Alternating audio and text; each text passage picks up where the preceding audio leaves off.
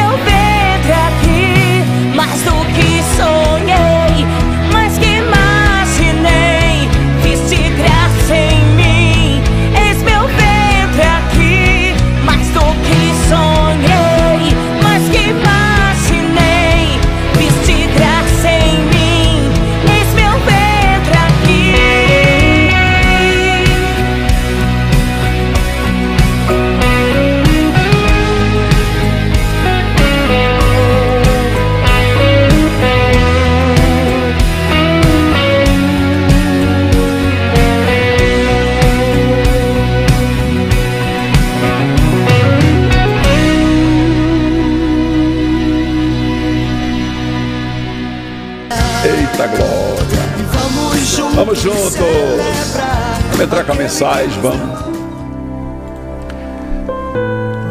O texto de meditação hoje, meu e da pastora Jossa Neto, nó- nós lemos, eu leio um versículo para ela e ela lê um para mim. E geralmente a gente pega o versículo que vem na Bíblia, né? A Bíblia tem aquele versículo do dia, né? Aí eu abro a minha Bíblia, eu tenho uma Bíblia instalada diferente da dela, então vem todo dia um versículo para mim e um versículo para ela. São versículos diferentes e a gente lê para orarmos e agradecermos a Deus pela noite de descanso, por tudo, né? E aí, hoje de manhã, veio para a pastora Jossanete o Provérbios 16, 1 que diz: Nós fazemos os planos, mas quem realiza é Deus. Em outras versões diz: O planejar é do homem, mas a realização é de Deus. Em outras versões diz: O homem planeja o seu caminho, mas o seu futuro pertence a Deus. E no meu, na minha Bíblia, vê essa passagem muito bela, belíssima da palavra de Deus. E está em Colossenses capítulo 2, versículos 6 e 7, que diz: Como, pois, recebestes o Senhor Jesus Cristo, assim também andai nele, arraigados, edificados nele, confirmados na fé, assim como fostes ensinados, crescendo em ação de graças. crescendo, agradecendo a Deus. A Jane Silva colocou aqui Isaías 65, 4. E acontecerá que antes de clamarem eles, eu responderei, e estando eles ainda falando, eu os ouvirei. Oh, glória a Deus. A palavra de Deus, amados, ela é ela é algo extraordinário, porque a palavra de Deus, ela é alimento para o crente, né? Ela é alimento para o crente. Nós nos alimentamos da palavra e nos edificamos na palavra. Eu queria falar hoje sobre aquilo que nós desejamos, mas Deus não realiza como queremos. Não é que Ele não vai fazer, não é isso. É claro que Deus ele não vai abençoar a mim e a você para nós fazermos o que é errado aos olhos dele. Isso a gente sabe, né? Isso está claro, está evidente. Mas nós temos que entender que a minha mente, mesmo sendo eu um homem de Deus, sendo vocês homens e mulheres de Deus, nós somos falhos. E somos falhos e não temos os atributos de Deus. Atributo da onisciência, da onipresença, eu já não falo nem da onipotência. Porque Deus é o Todo-Poderoso. Onipotência quer dizer aquele que tem todo o poder. Eu estou falando da onisciência, onipresença, que é está em toda parte e conhecer todos os corações. Nós não temos esses atributos de Deus. E por não termos, às vezes o nosso coração nos engana. Está na Bíblia, está lá escrito em Jeremias 17, 9, né? enganoso é o coração mais do que todas as coisas e perverso. Eu tenho falado sobre isso, para que os irmãos aprendam que nós precisamos descansar em Deus e viver para Deus. Porque quando eu tenho a direção de Deus, eu tenho um rumo certo a seguir, não é verdade? Veja bem, eu queria fazer aqui no início desse culto no lar uma maneira diferente de fazer essa mensagem, é, interagindo com vocês, conversando com vocês, porque eu adoro quando tenho resposta de vocês aqui, porque o que eu mais amo nesse, nesse, nesse culto no lar é que as pessoas que nos acompanham, elas são muito sinceras. E eu tenho procurado ser sincero com vocês em tudo. Até porque Deus ama a sinceridade, a honestidade, Deus ama a verdade. E as pessoas que são verdadeiras são abençoadas por Ele. Quantas vezes você pensou que ia ser de um jeito e foi de outro? Quantas vezes você planejou e deu errado? Quantas vezes você quis fazer e imaginou uma coisa e foi outra completamente diferente? Quantas vezes você imaginou sucesso e foi fracasso, imaginou fracasso e foi sucesso? Quantas vezes você imaginou que a reação de algumas pessoas seria uma reação completamente alheia àquilo que você imaginava e a pessoa reagiu de maneira diferente, ou decepcionando, ou lhe surpreendendo para o bem? Quantas vezes não foi como você queria? Você que já passou por isso, coloca assim: eu, pastor. A Francisca Simons colocou muitas vezes, Pastor Chico, na minha vida não foi como eu queria. Muitas coisas que nós pedimos a Deus, eu fui um homem que eu planejei muito, eu, eu era um homem de planos, mas eram meus planos. Meus planos. Eu abri muitas empresas, eu contratei muitas pessoas, eu contratava uma pessoa e dizia assim: essa pessoa vai ser o tchan. E no final era decepção, Ainda na Pão da Vida, já na Pão da Vida, eu trouxe pessoas para o ministério que foi uma decepção terrível, terrível. Mas não era um homem de Deus, não era uma mulher de Deus, mas foi decepção terrível. Ingratos, preguiçosos, por aí vai, sem falar outras coisas. Várias vezes fui surpreendido por pessoas que eu apostava nelas e eu esperava mais delas e não aconteceu. E também Fui e sou surpreendido até hoje por aqueles que eu não dava o valor que eles mereciam e eles mostraram que tinham valor tremendo, que eles eram muito especiais e são valorosos para nossas vidas, pessoas simples com quem nós aprendemos mais do que com aqueles que se dizem mais instruídos. As coisas de Deus é tremenda, né, irmão? Deus diz que Ele usa as coisas loucas deste mundo para confundir as sábias e que a sabedoria do homem é loucura para ele, né? Então a gente tem muitas decepções na vida, a gente tem muitos planos frustrados E às vezes a gente entra assim no meio que em parafuso, não entendendo que o nosso amor não foi correspondido, mas entenda, o ministério de Jesus Cristo, a vida de Jesus Cristo serviu de exemplo para nós. Sendo ele Deus perfeito, a Bíblia diz que em tudo ele foi tentado, mas em nada pecou, perfeito. E sofreu o que sofreu. Então essa mensagem de hoje é para trazer um conforto ao seu coração, porque também traz ao meu. Eu não posso achar que as pessoas elas têm que corresponder às minhas expectativas, não é as minhas. Ela tem que corresponder a Deus. Certa vez um pastor da nossa igreja, preste atenção. Vou contar essa aqui porque essa tem que ser contada. Um pastor da nossa igreja pegou um casal com dois filhos e botou numa casa da igreja, da igreja. Pastor Chico, vou botar lá, para morar lá, porque eles não têm onde morar, estão passando fome, estão. E botou esse casal lá. Quando o pastor falou comigo, eu digo, tudo bem, eu autorizo, sem problema. Ele botou lá. Vocês acreditam que esse pastor fez feira, pagou água, pagou energia, ajeitou tudo para aquele casal, mas foi um, foi, fez coisa por eles que nem um pai faz. Como eu faço muito e você também faz. A gente faz coisas que nem o pai faz. O pai que eu digo terreno. Irmãos, depois de duas semanas, aquele homem que foi socorrido por esse pastor veio falar comigo e falou mal do pastor e criticou o pastor, porque o pastor tinha pedido a ele para fazer um CVC na casa, ele chegou e falou, e eu fiquei olhando para ele assim. Eu falei, eu vou me beliscar. Eu vou beliscar aqui para ver se esse deve ser um pesadelo, eu devo estar sonhando. Essa criatura que estava passando fome com a família, não tinha nem o que comer. O pastor deu tudo. Aí eu olhei para ele assim, eu falei: "Meu irmão, você é muito ingrato. Meu amado, pelo amor de Deus, como é que um homem de Deus acolhe você?" Mata a sua fome da sua esposa, dos seus filhos, lhe dá um teto, um lugar para morar, para descansar, e você está falando mal desse homem? Rapaz, eu estou decepcionado com você, sinceramente. Você nunca vai ser nada na vida desse jeito. Ele ficou assim, eu digo, você acha que eu ia concordar com você, meu irmão? Eu estou contando isso aqui para você saber que as decepções da vida não devem mudar você para você parar de ajudar. Mas tem pessoas que você tem que isolar, porque são pessoas que Deus está tratando com elas.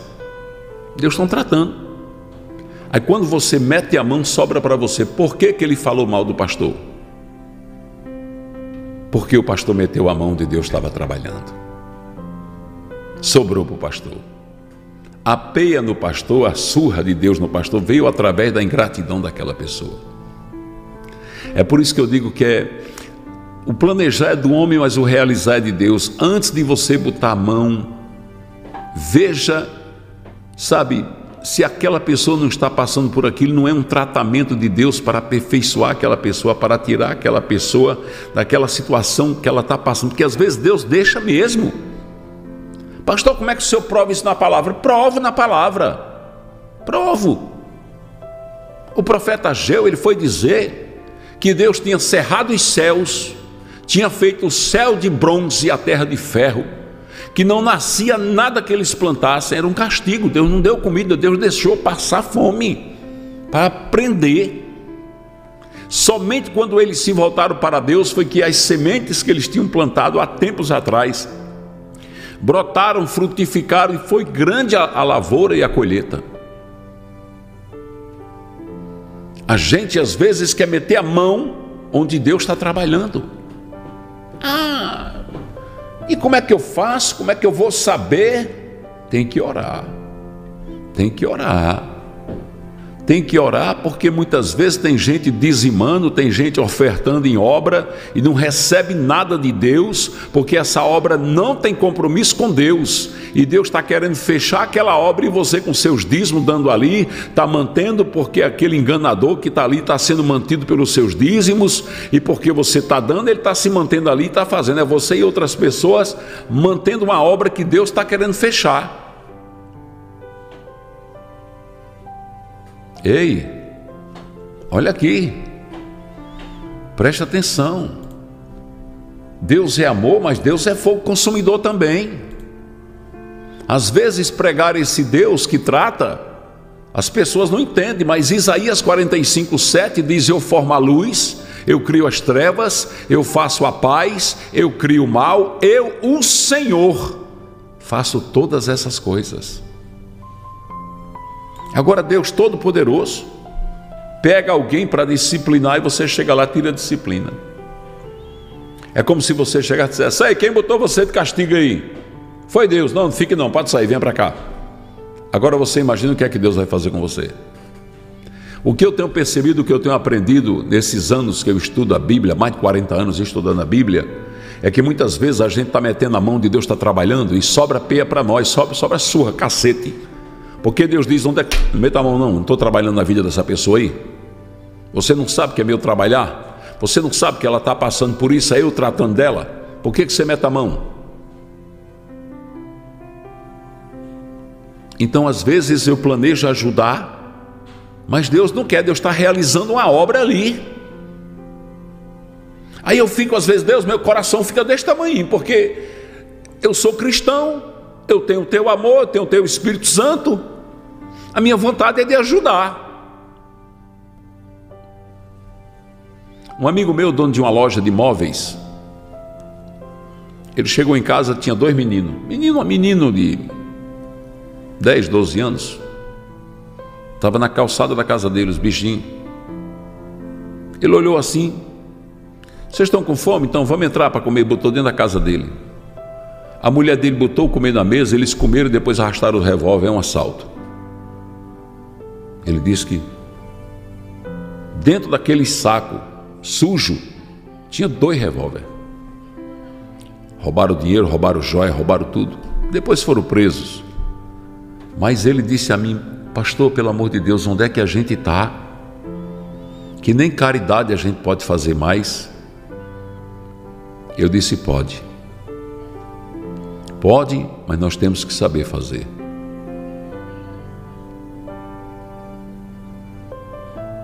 Olhe, vou dizer uma coisa a vocês. Se vir a Deus é ter a direção de Deus. Você dá de comer um morador de rua, você abençoar uma pessoa, lá não tem problema nenhum, você matar a fome dele, porque Deus disse assim. Nós temos que meditar na palavra. Deus disse assim: se teu inimigo tiver sede, dê de beber, se tiver fome, dê de comer. Mas ele disse dê, ele não disse traga para sua casa. Dê uma cama. Não, ele disse dê, alimente e mate a fome dele lá para ele manter-se vivo. Mas às vezes nós queremos trazer. Deixa eu mostrar para vocês, eu vou mostrar porque isso aqui, tá vendo? É uma inflamação que eu tenho aqui. Olha, vocês me veem aqui de uma pomada a pomada branca que eu estou usando, que a irmã Sônia lá de São Paulo me deu quando esteve aqui em casa. Está melhorando, tá vendo? Esse vermelhão aqui, sabe o que foi isso aqui? Uma unhada, unhada, unha. De uma pessoa que eu sempre ajudei. Essa pessoa endemoniada veio para cima de mim e antes que eu começasse a orar por ela, ela já meteu as unhas aqui, cortou aqui na época, cortou isso aqui tem mais de três anos. Nunca sarou porque as unhas dele, unha de, de gente de rua, é muito infeccionada. Aí eu estou tratando. É, graças a Deus está sarando. Eu parei de dar de comer a eles? Não. Mas o que é que eu entendo? Tudo tem que ser na direção de Deus. Nós fazemos os planos, mas quem realiza é Deus. Provérbios 16, 1. Não é do homem dirigir os seus passos, mas a Deus é o seu destino. Então, mesmo que me façam mal, eu vou fazer o bem. Agora eu vou primeiro perguntar para Deus: Quando eu vejo uma pessoa numa situação difícil, eu vou perguntar, porque um dia Deus fechou meu coração. Fechou. Apareceu uma mulher aqui na live dizendo que estava morrendo de fome, que estava passando uma fome com a família, que já não suportava mais a dor no estômago, as noites em claro, porque não conseguia dormir, papapá, papapá, papapá. Deixou o telefone dela. Eu liguei para ela. Minha senhora, eu quero mandar deixar uma feira grande na sua casa. Me dê seu endereço. E ela deu o endereço. E na cidade dela tinha uma missionária, eu chamo de missionária, todas as, as irmãs aqui que trabalham conosco aqui, é tudo missionária de Deus. Eu liguei para ela e disse, irmã fulana, queria que você fosse na casa dessa senhora, ela mora assim, assim, me deu esse endereço, para ver a situação dela. Porque por trás da voz dela, conversando com ela, eu percebi que não era verdade o que ela estava falando. O Espírito Santo me revelou Deus diz que ele revela o oculto e o escondido, e eu percebi que não era verdade. Minha irmã, vá lá, veja a situação, leve uma feira e leve 300 reais. Mas veja a situação, porque eu senti um pouco de artificialidade no falar dela. O Espírito Santo revela. Ela foi.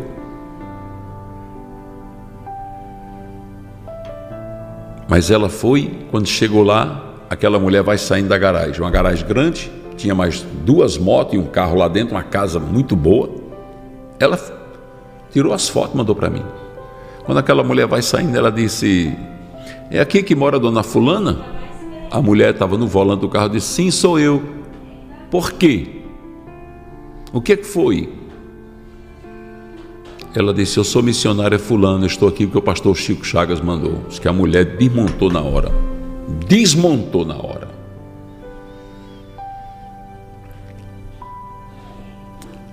Aí ela disse: Eu estou vendo que a senhora não precisa do que eu trouxe para a senhora. A missionária entrou no carro com o marido e foi embora. Ligou para mim, pastor, e aí? Eu digo: Não, dê, a qualquer pessoa aí. Dê a qualquer pessoa. Ou seja, aquela mulher que eu liguei para ela depois e disse: não faça mais isso. Não faça. Você não precisa. Você mora numa casa boa, você tem automóveis, motos na sua casa, sua família tem condição, e você, tirando de uma igreja, dos dízimos e ofertas, que um pastor com o coração cheio de compaixão, manda para você. Você já imaginou a gravidade do que você está fazendo?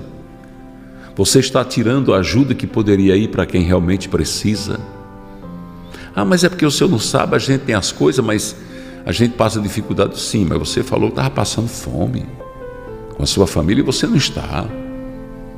Você com quatro veículos na garagem, dois carros, duas motos, casa boa, cortei relações com ela. Um tempo depois, eu nunca disse isso para vocês. Um tempo depois, ela me liga de outro número, pensando que eu não ia atender. Eu tinha atendido se ela tivesse ligado o mesmo número. Eu atendi, aí ela disse que agora sim ela estava sendo castigada por Deus e estava precisando de ajuda. Agora o senhor pode mandar aquela missionária aqui de novo, que o senhor vai ver como é que eu estou? Eu já não moro mais naquela casa, nós tivemos que vender aquela casa. Eu moro de aluguel. Na verdade, eu estou morando aqui quase que de favor, porque tô, a, a, minha irmã me deu um quartinho para mim morar aqui, para me pagar só 200 reais para ajudar na energia e na água. E eu disse a ela, minha irmã, eu vou ser muito sincero com você. Eu vou dizer o que é que eu estou sentindo aqui no meu coração, eu não vou lhe ajudar. Porque o que eu estou sentindo é que Deus está tratando com você. Eu não vou meter a mão, não, não sobra para mim. E não ajudei. Fiquei com o coração doendo, mas não ajudei. Porque eu tenho pedido a Deus, e eu creio que vocês também têm pedido, que Deus nos ensine a andar onde Ele quer, porque andar com Deus é fácil e ao mesmo tempo é difícil porque às vezes o nosso coração enganoso quer nos mandar por caminhos que Deus diz por aí não, é por aqui, olha. É por aqui. Vá por aqui. e você quer ir por lá. E Deus diz: Não, rapaz, é aqui, eu estou mandando você ir aqui, ó. Aqui. É assim ou não é? A gente ama quem não deve ser amado, a gente se entrega para quem não merece essa entrega, a gente abençoa quem não precisa ser abençoado, ou então não deve ser abençoado porque tem um tratamento de Jeová na vida dele ou dela, e por aí vai. Então, diante dessas coisas, nós temos que aceitar essa palavra aqui, que nós podemos planejar, mas quem realiza é Deus, é Deus que realiza, é Deus que faz. Porque nós podemos ver na história bíblica, eu estou falando da história da Bíblia, porque Deus ele é tão sincero, ele é tão puro, que ele não escondeu nada de ninguém, irmãos. Deus não escondeu o pecado de Davi, Deus não escondeu a fúria de Moisés, Deus não escondeu que Moisés matou o egípcio, Deus não escondeu. Deus não escondeu nem a fraqueza de Jesus Cristo. Sim, Jesus teve aquele momento que ele ficou pai, ele temeu a morte.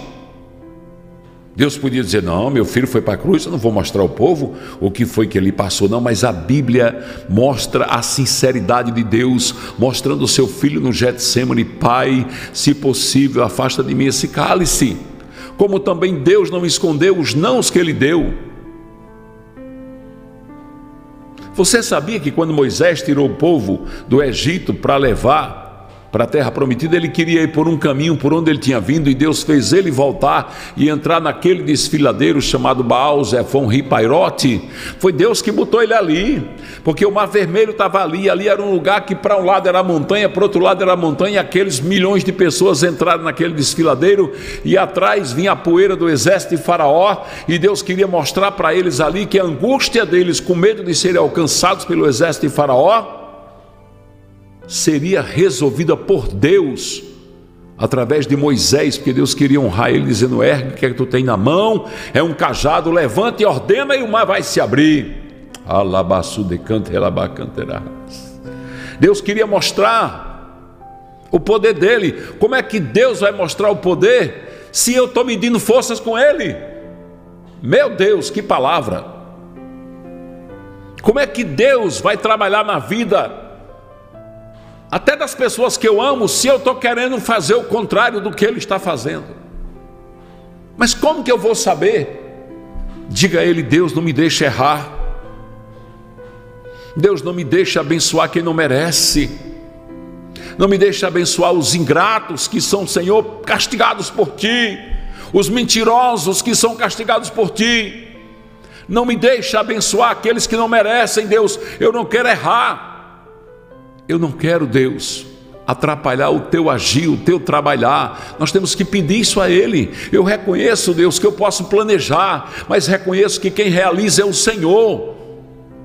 Não me castigues, se às vezes, pela minha fraqueza humana, pelas minhas limitações, eu meto a mão do não, não devia. Só diga, tira a mão daí, estou trabalhando. Fala comigo em palavra, fala comigo em sonhos. Você pode prestar atenção, preste atenção, irmãos, comece a prestar atenção. Igreja, daqui para frente, preste atenção como é que Deus trabalha. Como é o agir de Deus, como é que Ele trabalha na vida das pessoas. Você vê um ingrato, daqui a pouco vê ele na peia. Pode prestar atenção. As pessoas que fazem gratidão com você não passa nenhuma sem passar pelo chicote de Jeová. Todas passam. E Deus está assim, sabe? Parece que o mundo está perto de Deus está perto de botar um fim nisso aqui. Eu até creio que o arrebatamento da igreja está próximo de acontecer. Aí sabe o que é que Deus está fazendo? Ele não está demorando mais, não. Não demora mais, é ligeiro. Eu estou vendo agora. Antigamente a gente esperava muito tempo para Deus fazer, mas Deus agora está com pressa. Alguém faz uma coisa contra um filho dele, uma filha dele, olha, a peia vem logo em seguida, é ligeiro é ligeiro. Eu digo porque eu tenho visto como Deus tem trabalhado assim.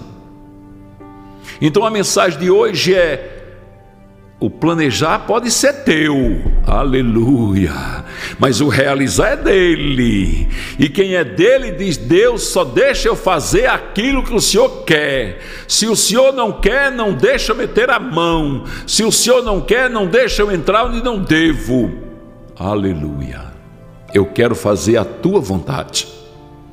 Mesmo que doa, mesmo que eu sofra, mesmo que eu pague o preço, mesmo que eu fique olhando, mas eu quero, Senhor, contemplar a tua glória na minha vida e quero obedecer a tua voz, porque eu quero é morar no céu. Eu não quero perder a minha salvação por desobediência ou por rebeldia. Eu quero morar no céu. Eu quero estar com o Senhor. vivo para ti.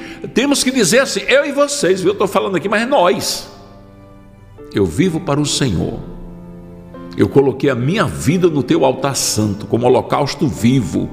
Então, dirige a minha vida.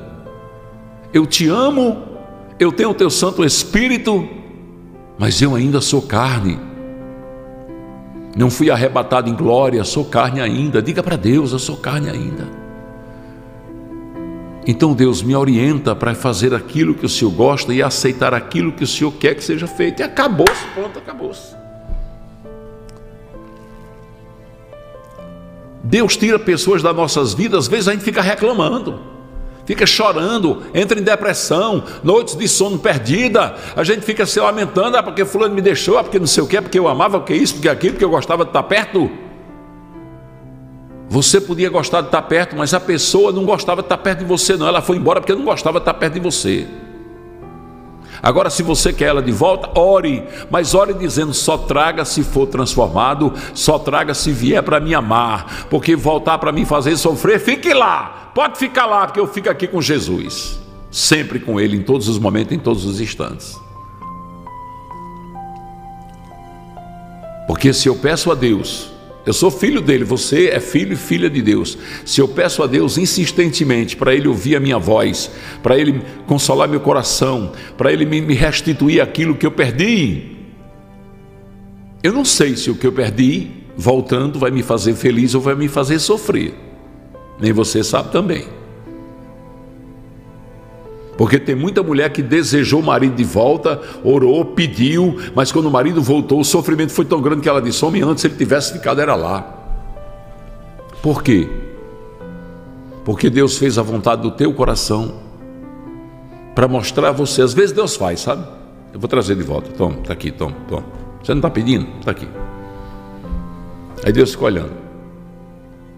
Aí você começa a sofrer, está vendo aí? Ó. Por isso que eu não queria te dar de volta. Mas você pediu tanto que eu tive que deixar, eu tive que permitir para você entender que não era isso que eu tinha para você. Eu tinha algo melhor.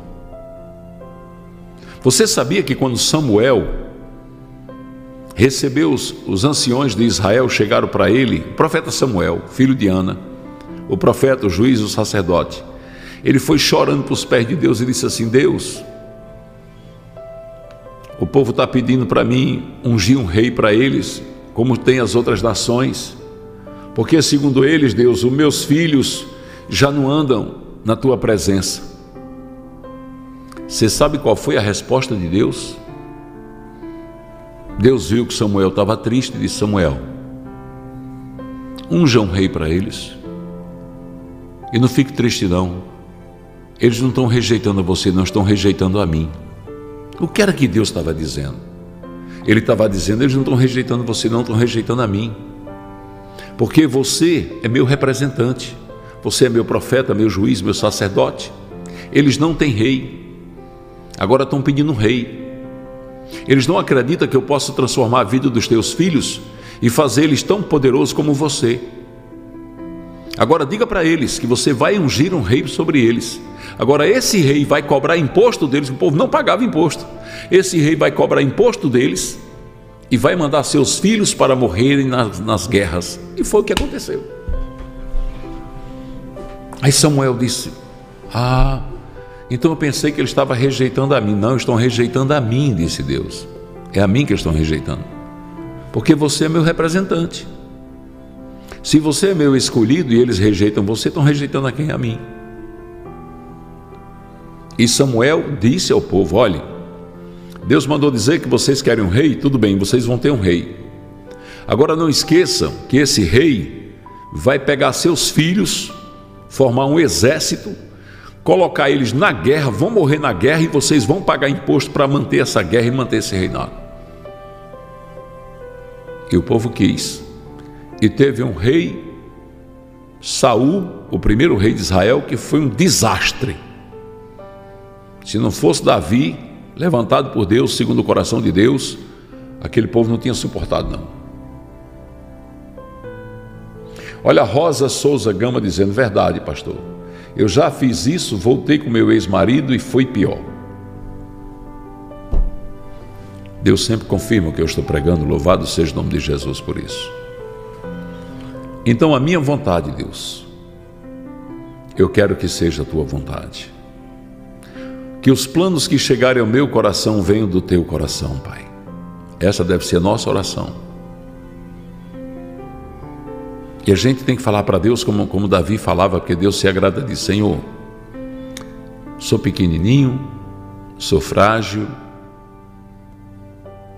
meu tempo aqui na terra não é muito longo, então não me deixe errar muito, não.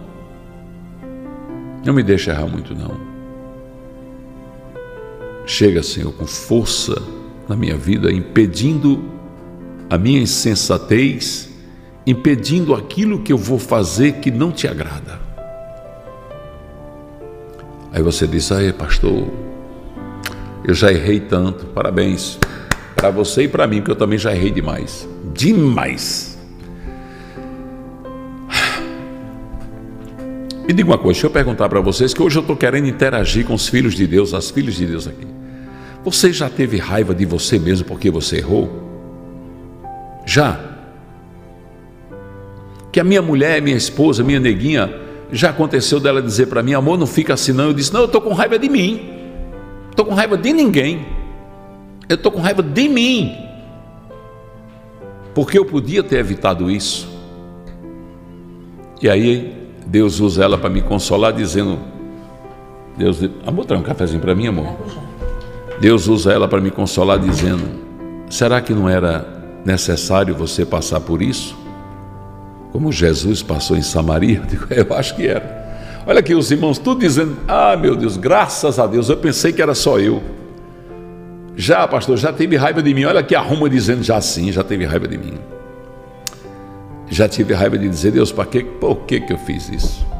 Para que, que eu fui meter minha mão nisso? Para que, que eu me meti nisso aí? Para que, que eu fui mexer com isso? Eu não precisava estar mexendo com isso, não tinha necessidade nenhuma. Por que, Deus, que eu fiz isso, Deus?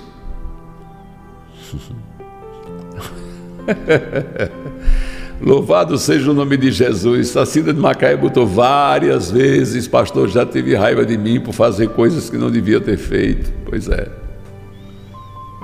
Está vendo como é bom interagir com vocês, como é bom a gente ouvir, porque isso, isso aqui, nessa quantidade que está aqui, conforta meu coração para me dizer, Deus, ainda bem que o Senhor, ainda bem que o Senhor é compreensivo, ainda bem que o Senhor entende seus filhos, porque senão, Pai, como seria isso aqui?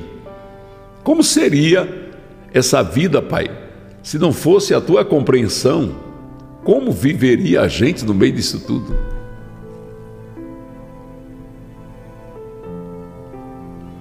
Deixa eu contar a história para vocês, só para a gente trazer um hino aqui, louvar a Deus. Um morador de rua que eu amava, amava não, eu amo ainda, ele está por aí, não sei nem onde é que ele anda.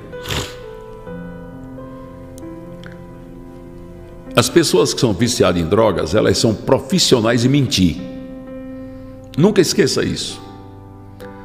As pessoas que são viciadas em drogas, elas são mentirosas, mas são mentirosas e, e, e pensa que sabe mentir, porque para Deus ninguém mente, né? Irmãos, elas mentem tanto, elas inventam as histórias. Meu Deus do céu. Vou contar duas histórias bem curtinhas. Primeira história: chegou um cara lá em casa, quando eu morava lá na outra casa. Chegou e disse: Minha filha morreu em Natal. Eu trabalho na Caerne. A Caerne é a companhia de água e esgoto aqui do Rio Grande do Norte. Eu trabalho na Caerne. Minha filha morreu em Natal. E eu não posso trazer o corpo para cá. Eu queria sepultar ela aqui para ficar mais perto da gente. Aí, pastora Jossa Nete é uma pulga atrás da orelha. Pense numa mulher esperta. Uma mulher que, sabe, logo ela lidou muito tempo com educação, com crianças do PET, então ela é muito esperta com relação às pessoas estão falando, ela está olhando assim. E é raro ela não adivinhar se é mentira. Quando ela diz, amor, isso é mentira. Pode ir atrás que é. Aí ela me catucou por trás assim, e mesmo assim, eu enfiei a mão no bolso e dei um dinheiro àquele homem para ajudar ele a trazer aquela criança morta de Natal. Irmãos, seis meses depois, a mesma pessoa chegou na nossa casa com a mesma história. Seis meses depois, ele falou comigo, era o mês de junho, agora era dezembro, e ele chegou. Minha filha morreu em Natal, do mesmo jeito. Eu falei, rapaz, você não enterrou aquela menina ainda não? Até hoje você não fez o sepultamento dessa menina. Ele ficou assim. Vamos, essa história você já me contou há seis meses atrás. Em junho você me contou isso. Agora, dezembro, você chega com a mesma conversa. Ele baixou a cabeça e foi embora. Essa é uma história. A outra história, um morador de rua que eu sempre gost... gostei muito dele, tive muita amizade com ele. Eu, eu, eu gosto muito de conversar com eles, até para entender eles, a história da vida deles. Cara. Ele chegou e disse: Tenho tanta vontade de ver minha mãe. Ele disse: Sua mãe mora onde? Mora aqui em Baraúna. Aí na hora que ele estava falando Baraúna, Baraúna é pertinho aqui, 40 quilômetros. Aí ele disse, mas me disseram que ela está na casa da minha irmã em Apudi. Aí já aumentou para 75 quilômetros. Mas eu tenho tanta vontade de ver ela, eu tive um sonho com ela, rapaz, e acordei na madrugada sofrendo. Ele é crente, né? Essas expressões, acordei na madrugada, orei na madrugada, é coisa de crente. O cara se desvia, mas continua usando o mesmo linguajar. Eu disse, por que você não vai ver sua mãe? Eu não tenho dinheiro, pastor, sou morador de rua. Falei, não, eu vou dar a passagem para você e voltar. Agora não vou dar o dinheiro a você, não, vou dar o dinheiro para você comer na estrada alguma coisa. Vou falar com o rapaz do alternativo e vou pagar a passagem para você e ver sua mãe, leva você e traz. Se você quiser vir, se você quiser ficar lá, você fica, tá certo. Após ele foi lá, conseguiu o cara do alternativo, que aqui em Mossoró tem muito alternativo, faz essa região do Alto Oeste todinha aqui, trouxe o rapaz. Naquela época eu perguntei quanto que era, o rapaz disse, é 60 para ir, 60 para voltar. Eu, tome, 120 para você levar ele trazer. E peguei para ele e falei, tome, 50 para você comer na estrada. Vá ver sua mãe. E se ela pedir para você ficar do lado dela, fique. E pare de usar droga, homem. Vá ser homem, vai ajudar sua mãe. Ele saiu no alternativo. Menos de duas horas depois, o rapaz do alternativo voltou, com o carro cheio de passageiro. Chegou, encostou. Eu estava até fazendo o culto do lar. Ele parou na porta. Adriana Carina, pastor, tem um, aquele rapaz do alternativo, do morador de rua, está aí fora. Eu peguei, botei uma música, saí, fui falar com ele. Ele disse: Olha, está aqui seu dinheiro. Olha como ele era honesto, me devolveu os 120. Está aqui seu dinheiro, pastor. Eu sou crente, pastor, mas sou. Não vou ficar com seu dinheiro, não. Aquele cabra entrou no meu carro quando chegou lá na frente. Ele disse para mim que ficasse com 50 e desse 70 para ele, que ele ia ficar na cidade, que não ia mais viajar. E eu disse: Não, você vai ficar aí e eu vou lá devolver o dinheiro para o pastor, porque eu não vou pegar essa carga simples sobre mim, não, rapaz. Tá vendo? Eles inventam histórias e a gente com coração bondoso quer ajudar. É por isso que não pode fazer isso. Sabe como é que eu faço? Quando eles querem viajar, eu compro a passagem na empresa, na rodoviária, porque ele não pode pedir o dinheiro de volta para o motorista, levo ele, boto ele dentro do ônibus. A pastora compra bolachinha, arruma a feirinha dele para ele comer na estrada. Quando ele está dentro do ônibus, aí eu dou um dinheirinho a ele para parar num restaurante, alguma coisa, comer alguma coisa, porque se não for assim, ele não fica. Ele não fica. Eles não podem pegar dinheiro. Eu me lembro de um morador de rua que eu. Ele foi para a clínica em Fortaleza, se tratou lá, veio. Quando chegou, caiu nas drogas de novo, pediu para voltar. A, a, passagem de Mossoró para lá era cento e poucos reais. Eu dei duzentos a ele, botei ele na porta assim da rádio, na porta assim. Liguei para o alternativo, o cara, eu passo já aí para pegar ele, botei ele na porta. Enquanto eu entrei na rádio, fui dar um alô e voltei, ele já não estava mais, já tinha que comprar droga. Então a gente, a verdade é que a gente só aprende com essas, essas coisas. Hoje a mensagem inicial do culto do lado de hoje foi exatamente para interagir com vocês e dizer assim: cada dia que passa, nós precisamos pedir mais e mais a direção de Deus. É ou não é? Pedir a direção de Deus.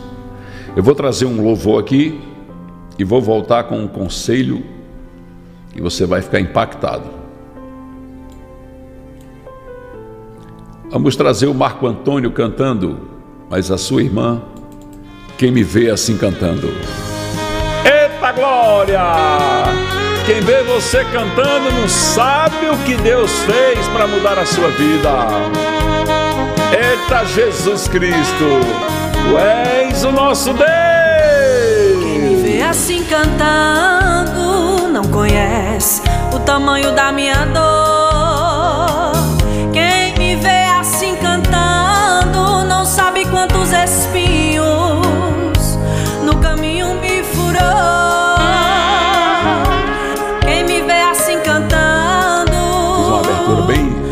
Interagindo conhece com minha eles. história, não sabe das noites em claro pra cantar agora. Noite chorando, noite gemendo, Deus escrevendo a minha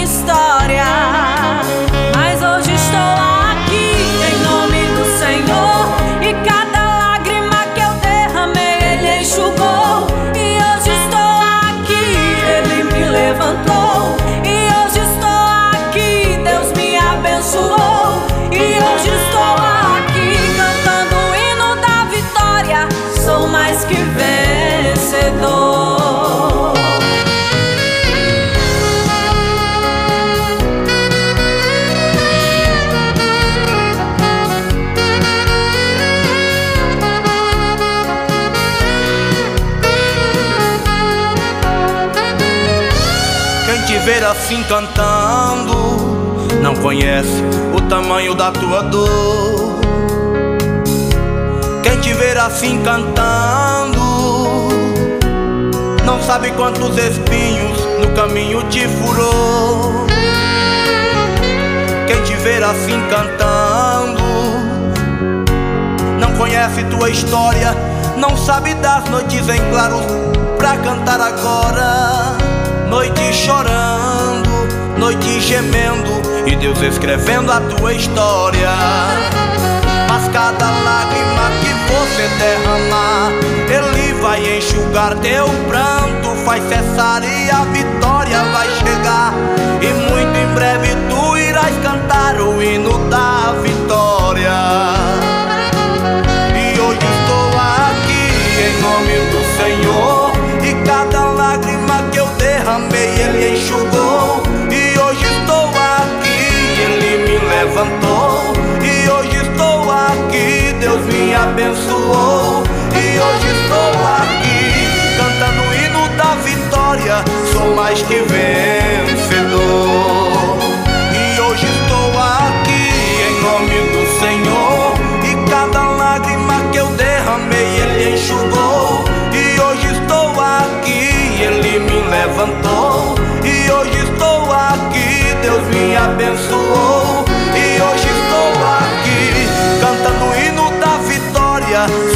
Sou mais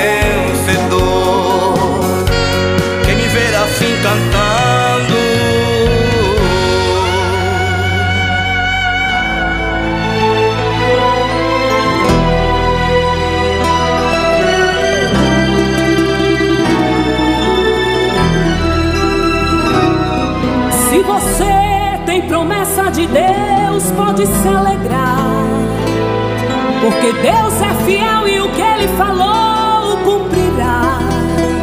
E se a prova for grande vier a morrer, vai ter que ressuscitar.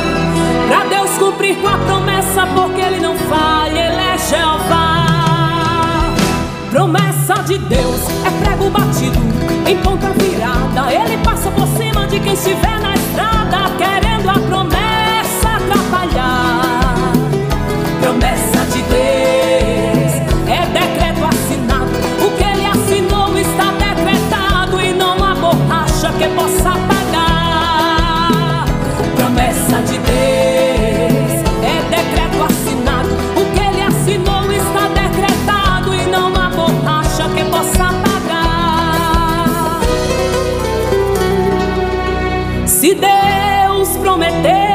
vai te levar para algum lugar, você irá. Se ele disse que tem uma cadeira para você, nela você sentará. E se ele falou que vai te abençoar na terra, a benção virá. E o que ele disse que você vai ser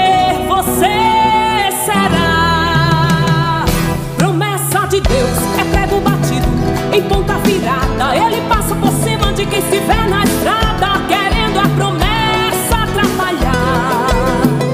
Promessa de Deus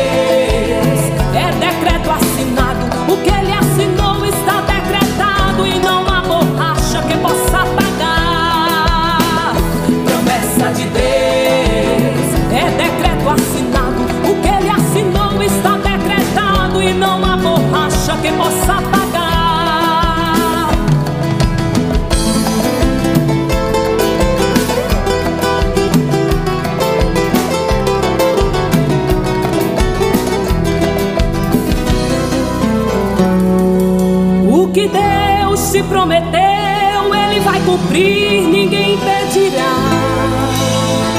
Ninguém toma, ninguém tira, ninguém cancelará. O que Deus prometeu é propriedade tua, é compromisso de Deus. Pode se apossar, porque é teu, é teu, é teu. Promessa de Deus é prego batido em ponta virada. Ele passa por cima de quem estiver na estrada, querendo a promessa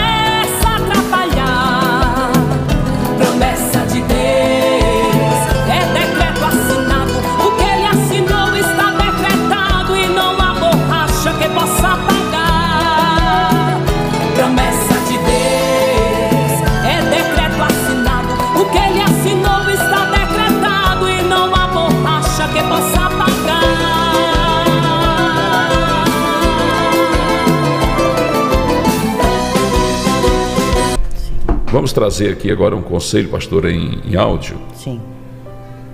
Vamos, vamos ouvir esse conselho aqui, esse pedido de conselho, amados. Bicho, o pedido é grande, viu? É, pastor, deixa eu ver. É. Vamos, vamos ter uma ideia do que, que é. Boa tarde, graça e paz do Senhor Jesus. Amém. É, eu preciso muito de um conselho do pastor Chico. É, em abril de 2020, logo quando eu iniciei na Pão da Vida, que minha- uma amiga minha me apresentou né, o canal, eu fui ficando assim maravilhada, né, com tudo que eu fui vendo, conhecendo o pastor e os conselhos e para mim foi um divisor de águas, né, na minha vida ter conhecido vocês. Amo muito vocês. Amém. Demais. É, eu vou procurar ser breve o mais possível que eu puder. Foi dia 28 de abril. Não sei se o pastor vai lembrar, porque são muitos. Muitos, muitos pedidos, muita gente que lá atende. Mas eu sei porque me marcou, né? E eu tenho esses vídeos guardados, salvos, em um grupo que é só meu, que é o meu mural, né? Amém. O meu testemunho. É, na época eu ainda estava com o meu marido. Assim, a gente não era casado no papel, mas fazia seis anos que eu vivia com ele. E depois desse pedido de conselho, ainda vivi mais seis. Mas acabei me separando. Infelizmente, né? Veio a separação. Eu lutei muito. Mas lutei com a força do meu braço. Pouca sabedoria, não tinha muita, não tinha maturidade espiritual. Hoje, apesar de ainda não ser tão madura, mas se fosse hoje eu teria te- tomado outras atitudes, né?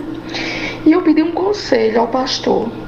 E hoje me deparei ouvindo esse conselho e vendo, né? Ouvindo. Não foi um relacionamento de um mar de rosas, né? Foi um relacionamento conturbado, né? De frustração, traições, de mentira da parte dele para comigo né? Eu procurei ser o mais sincera possível. Não fui uma prostituta no passado, assim, não fui para um prostíbulo, mas era uma mulher solteira que tive vários relacionamentos, né, que não deram certo. Vivia buscando, né? Talvez isso tenha sido uma carência, porque não tive pai presente na minha vida e vivia buscando nas pessoas preencher esse vazio que a gente só encontra em Jesus, né? Hoje eu entendo, mas antes eu não entendia. E Jesus ele mesmo disse: "O que eu faço agora você não entende, você só vai entender depois". Verdade. Mas graças a Deus que eu encontrei, né, o Senhor Jesus e também vocês. Tenho aprendido muito com vocês. E é para falar sobre isso, né? Fez dois anos, agora em outubro, que eu vinha me separar. No caso, eu o mandei embora. Eu que mandei embora. Foi uma separação muito traumática para mim, para os meus filhos, né? Eu tenho dois filhos, um filho com ele, que na época tinha cinco anos, hoje o meu filho tem sete, faz dois anos. E assim, muita coisa eu já consegui superar mas eu ainda não me relacionei com ninguém, nem pensamento, né? Me permiti que o Senhor sarasse essas minhas feridas. Como eu escuto muito o pastor falar, não embarque em outro relacionamento, não coloque outra pessoa na sua vida que não adianta. Você só vai sofrer e fazer outro sofrer. E eu não estava pronta.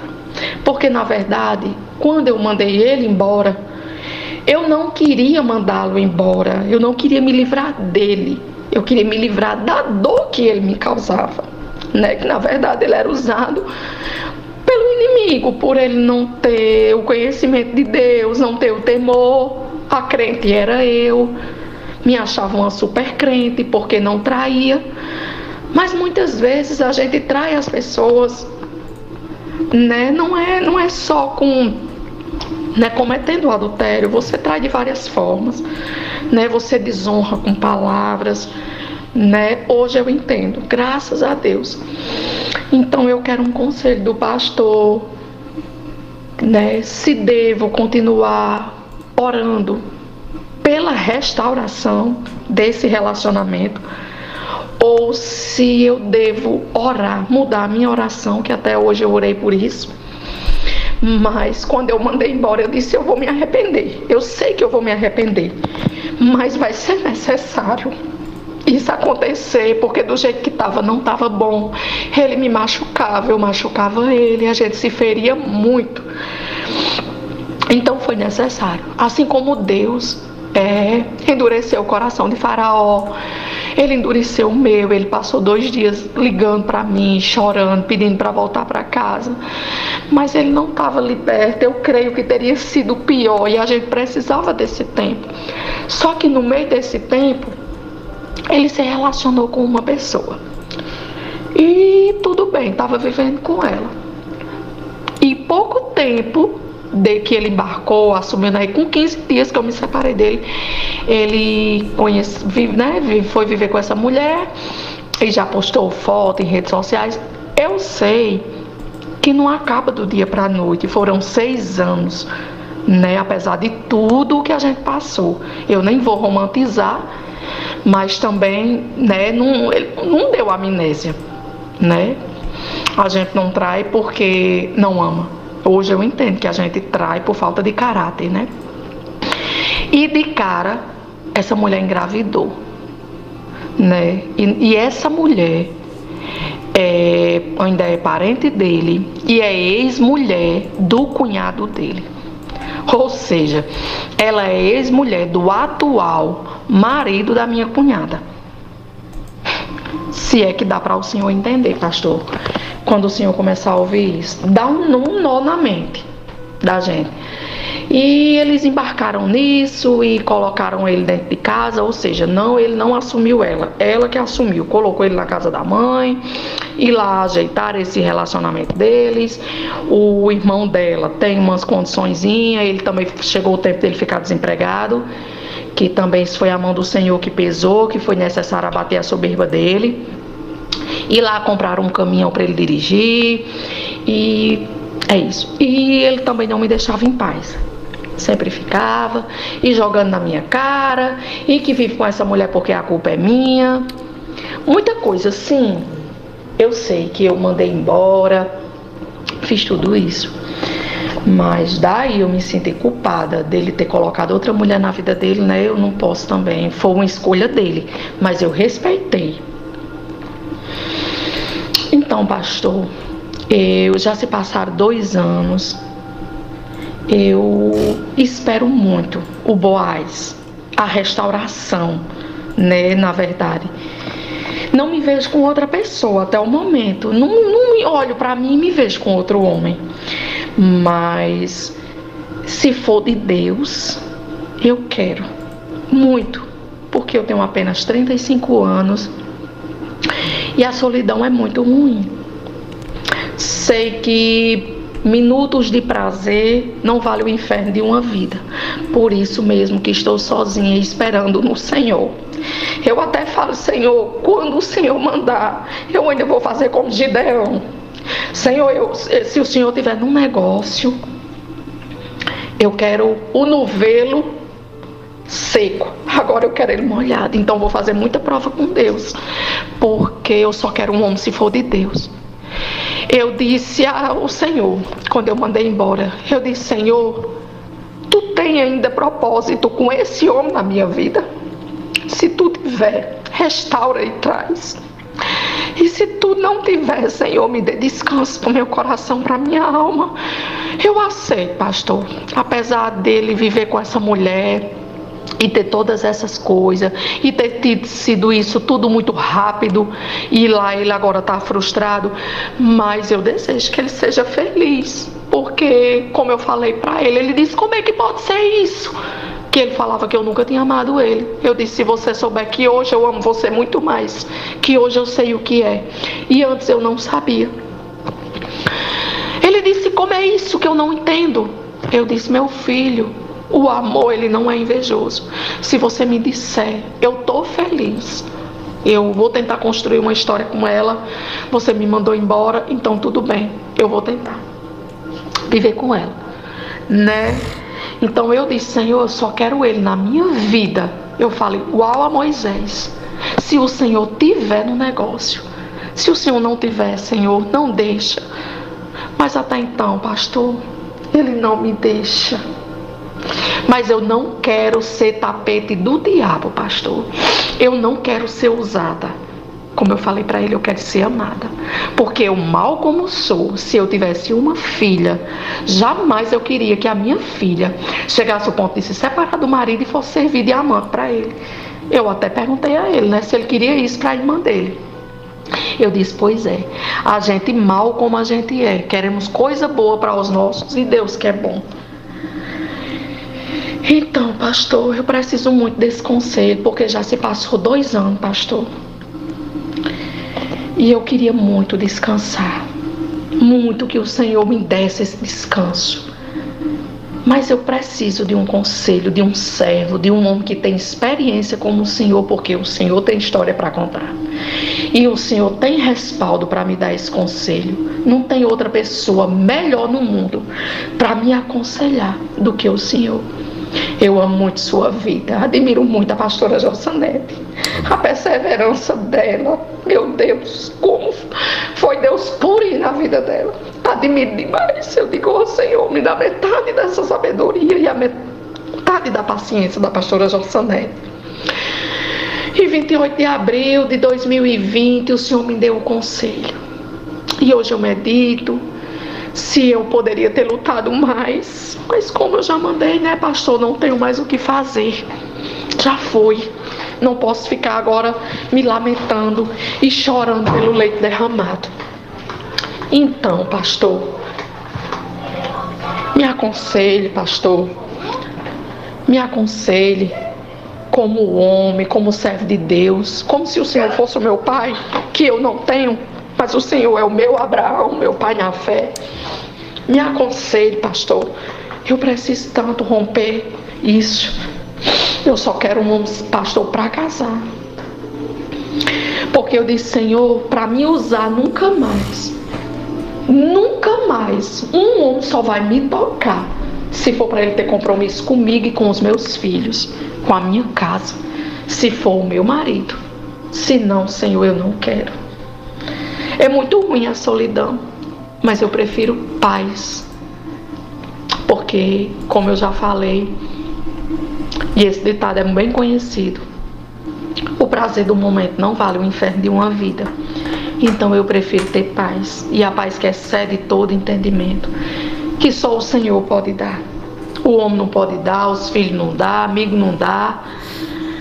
Mas eu preciso, pastor. Me diga se eu continuo orando por essa restauração. Que Deus, se Deus, que se Deus pode restaurar ele, eu não tenho nenhuma dúvida do poder de Deus. A minha dúvida é se Deus quer restaurar ou ele quer fazer novo. Sim, ele pode fazer novo no mesmo, né? Mas eu não sei, eu não entendo. É, Deus me deu Isaías 54, pastor, através do Senhor. O Senhor vai lembrar porque foi no dia que o Senhor foi com a pastora Jalsanete fazer uns exames no filhinho do caseiro. Foi dia 3 de maio de 2021. Pastor, e eu nunca vou esquecer como Deus falou comigo em Isaías 54. O Senhor falou, versículo 17, que nenhuma arma preparada contra ti prosperará. E quando eu não tinha entendimento, eu disse que eu senti curiosidade de ler né? Hoje não, eu sei que foi direcionado ao Espírito Santo. Pastor, o capítulo inteiro é meu. Todinho ele falou comigo fortemente. Isaías 54, eu digo, Senhor, nem se eu voltasse para o mundo, que não me deixe, Senhor, voltar para o mundo. Eu ia esquecer a experiência que eu tive em Isaías 54, pastor. Eu não vou esquecer nunca. Parecia que eu estava numa sala de aula era eu lendo e ele me dando discernimento, era ele me dizendo, ele falando comigo as letras da Bíblia, só faltava saltar diante dos meus olhos. Então, pastor, me aconselhe, me diga o que eu devo fazer, me direcione como homem, como homem de Deus, como pai, que o Senhor é o nosso pai, o meu pastor, eu sou a sua ovelha. Me aconselhe, eu amo muito sua vida em Cristo Jesus. Vou parar por aqui que o áudio vai ficar muito extenso. Pastor, me aconselhe. Em nome de Jesus, eu aguardo o mais breve possível o seu conselho. Fica com Deus, pastor. Amo a vida de vocês. Não, os irmãos estão aqui impactados. Sabe quando você ouve um áudio gigante e, e ouve assim, se deleitando, que, que irmã quebrantada, meus irmãos que irmã temente a Deus. Meu Deus. Um pedido de conselho com tanta palavra de Deus. Aleluia. Com tanto louvor ao Senhor. Os irmãos estão aqui, eu estou maravilhado com esse áudio. É forte, né, Silmara?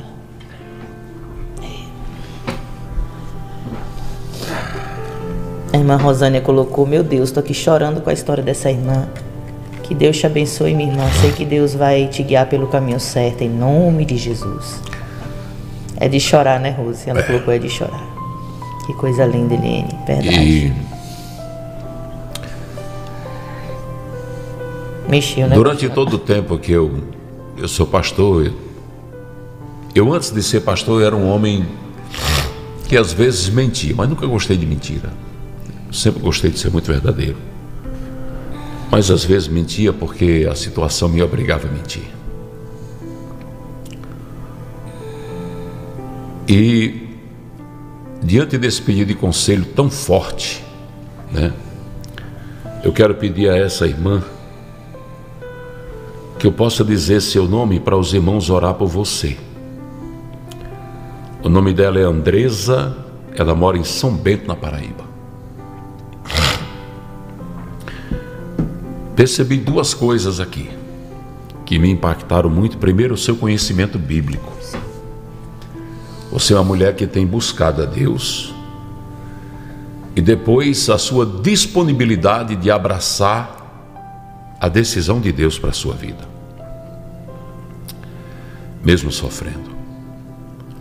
E eu quero aqui rasgar meu coração, até para dizer para as irmãs que eu tenho certeza que com as histórias vividas por mim nesses meus 62 anos de vida, eu tenho ajudado muitas vidas. Ela diz: Pastor, você é um homem de muitas histórias. Todo homem tem muitas histórias quando chega a minha idade, então tem muitas, mas às vezes não quer contar. Tem gente que não quer usar a sua vida para abençoar vidas, já eu conto para a glória de Deus. Primeiro, eu quero começar dizendo que ninguém pode lhe roubar o desejo do coração e o sonho que você mantém de um casamento restaurado. E ninguém pode também lhe censurar por um dia ter mandado embora o homem que você sempre amou o pai de seus filhos. Mas eu preciso dizer algo aqui que vai mudar muita coisa. Você disse se eu talvez tivesse o, o preparo que eu tenho hoje, eu não teria perdido meu casamento. Olha, eu fui um homem de muitas amantes, muitas, tive várias. E pelo amor de Deus, não pense que eu conto isso me vangloriando, eu conto isso para ajudar vocês, porque eu sei o vale que eu passei, o deserto que eu andei, quando eu vivia no mundo do adultério, quando eu vivia no mundo de várias mulheres. É um inferno. Você sabe o que é um inferno? É um inferno. E vou dizer a vocês porque eu não sou diferente de nenhum outro homem. Quando nós estamos no pecado, nas mãos do inimigo, nós somos o mesmo cavalo que ele monta e faz o que ele quer. O diabo faz o que quer quando o homem cede aos desejos da carne. Mas você já viu alguém amar e trair? Ah, pois é desse jeito: ama e trai. A mulher, é muito difícil uma mulher amar um homem e trair ele. É raro você ver isso acontecer. Agora o homem ama e trai. Eu amava e traía. A minha primeira esposa, a mãe da pastora Ângela, que já dorme em Cristo, ela era uma mulher linda. Por dentro, era uma mulher difícil de você encontrar hoje em dia. Muito bonita. Bonita por dentro e bonita por fora. Parecia uma menina, linda. E eu traía ela. E até hoje, eu me arrependo, mas eu sei que já estou perdoado por Deus, porque aquilo ali era uma maldição que havia na minha vida, na vida da minha família. A minha mulher bonitinha, toda durinha, toda arrumadinha, limpinha, aciadinha, uma, uma excelente mãe, uma excelente dona de casa, e eu traía ela com uma, uma bagaceira. Que eu dizia assim: o que é isso? Pelo amor de Deus, eu traindo minha mulher com essas mulheres imundas com essas mulheres que se deitam com qualquer um, com essas mulheres que se vendem. E quando eu chegava em casa, eu olhava ela em cima da cama com meus filhinhos, tudo ao redor dela, eu chorava de arrependimento. Mas como eu não tinha Deus, a maldição estava sobre a minha vida. Eu ficava ali arrependido um, dois, três, quatro dias, voltava de novo para aquela, para aquele mesmo inferno que o inimigo estava construindo.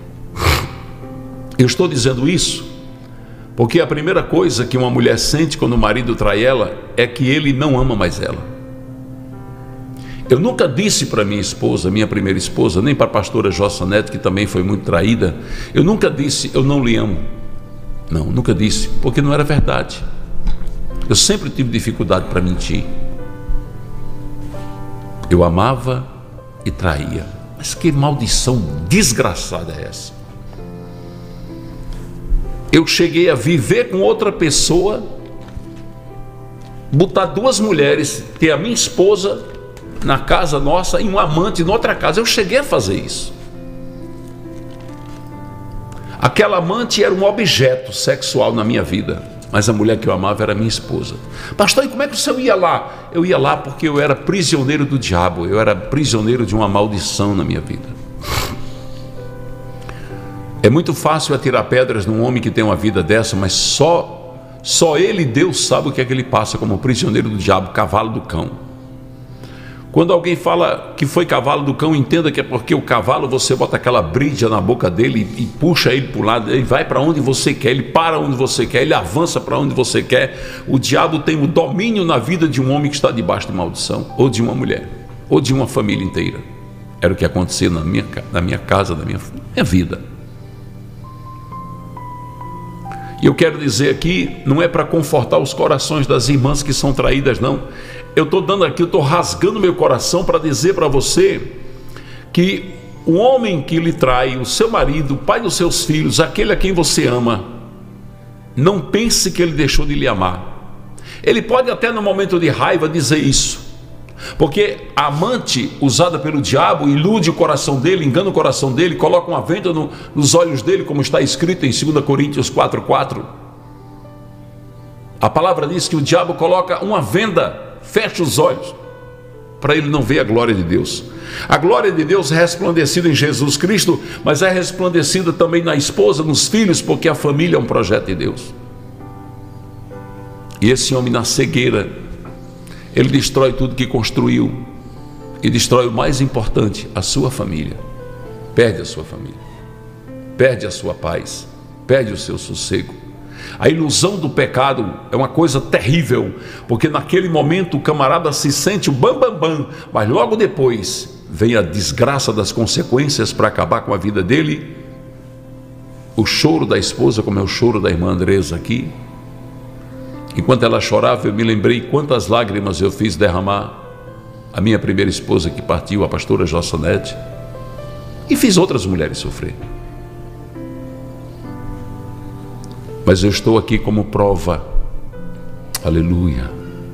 Estou aqui como testemunho vivo testemunho vivo do poder de Deus, testemunho vivo do poder de um Deus que transforma, de um poder de Deus que arranca o cão do coração e bota o Espírito Santo dele e diz: Agora você é meu, eu não desisto de você.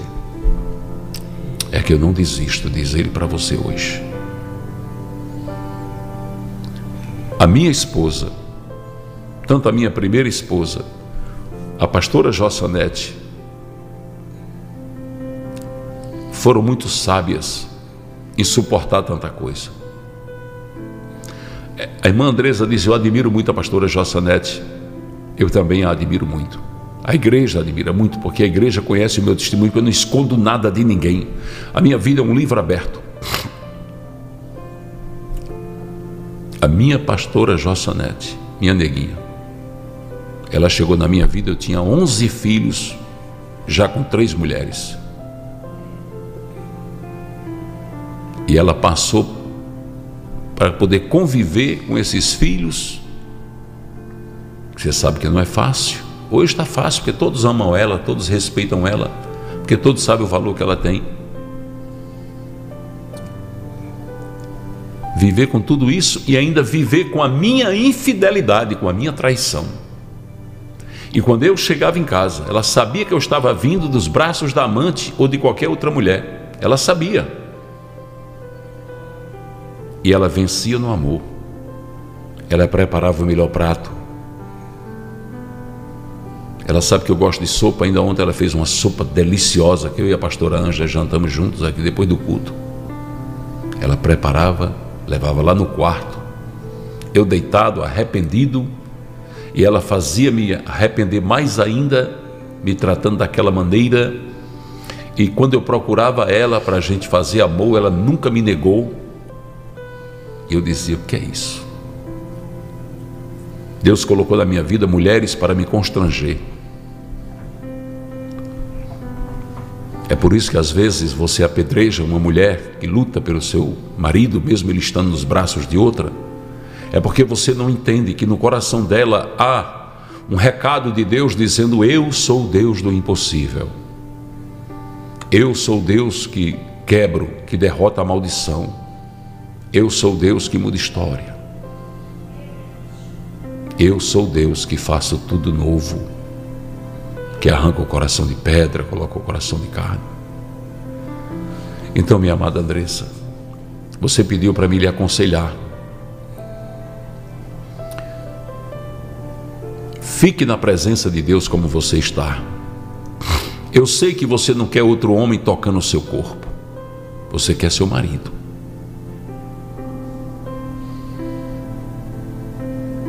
Se é isso que você quer, lute por isso e diga para Deus: transforma.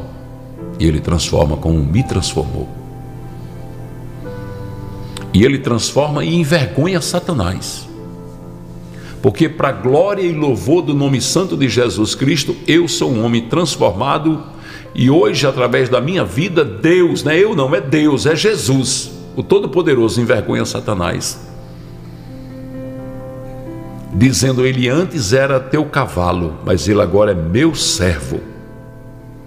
Ele antes caminhava com os que pecavam, hoje ele continua caminhando com os que pecam, mas para tirá-los do pecado e trazer para meus pés.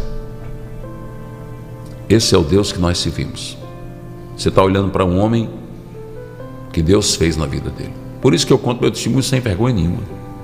Não tenho vergonha. Conto dizendo que me arrependo de tudo que fiz, não faria outra vez, porque Deus. Primeiro, porque Ele não permite.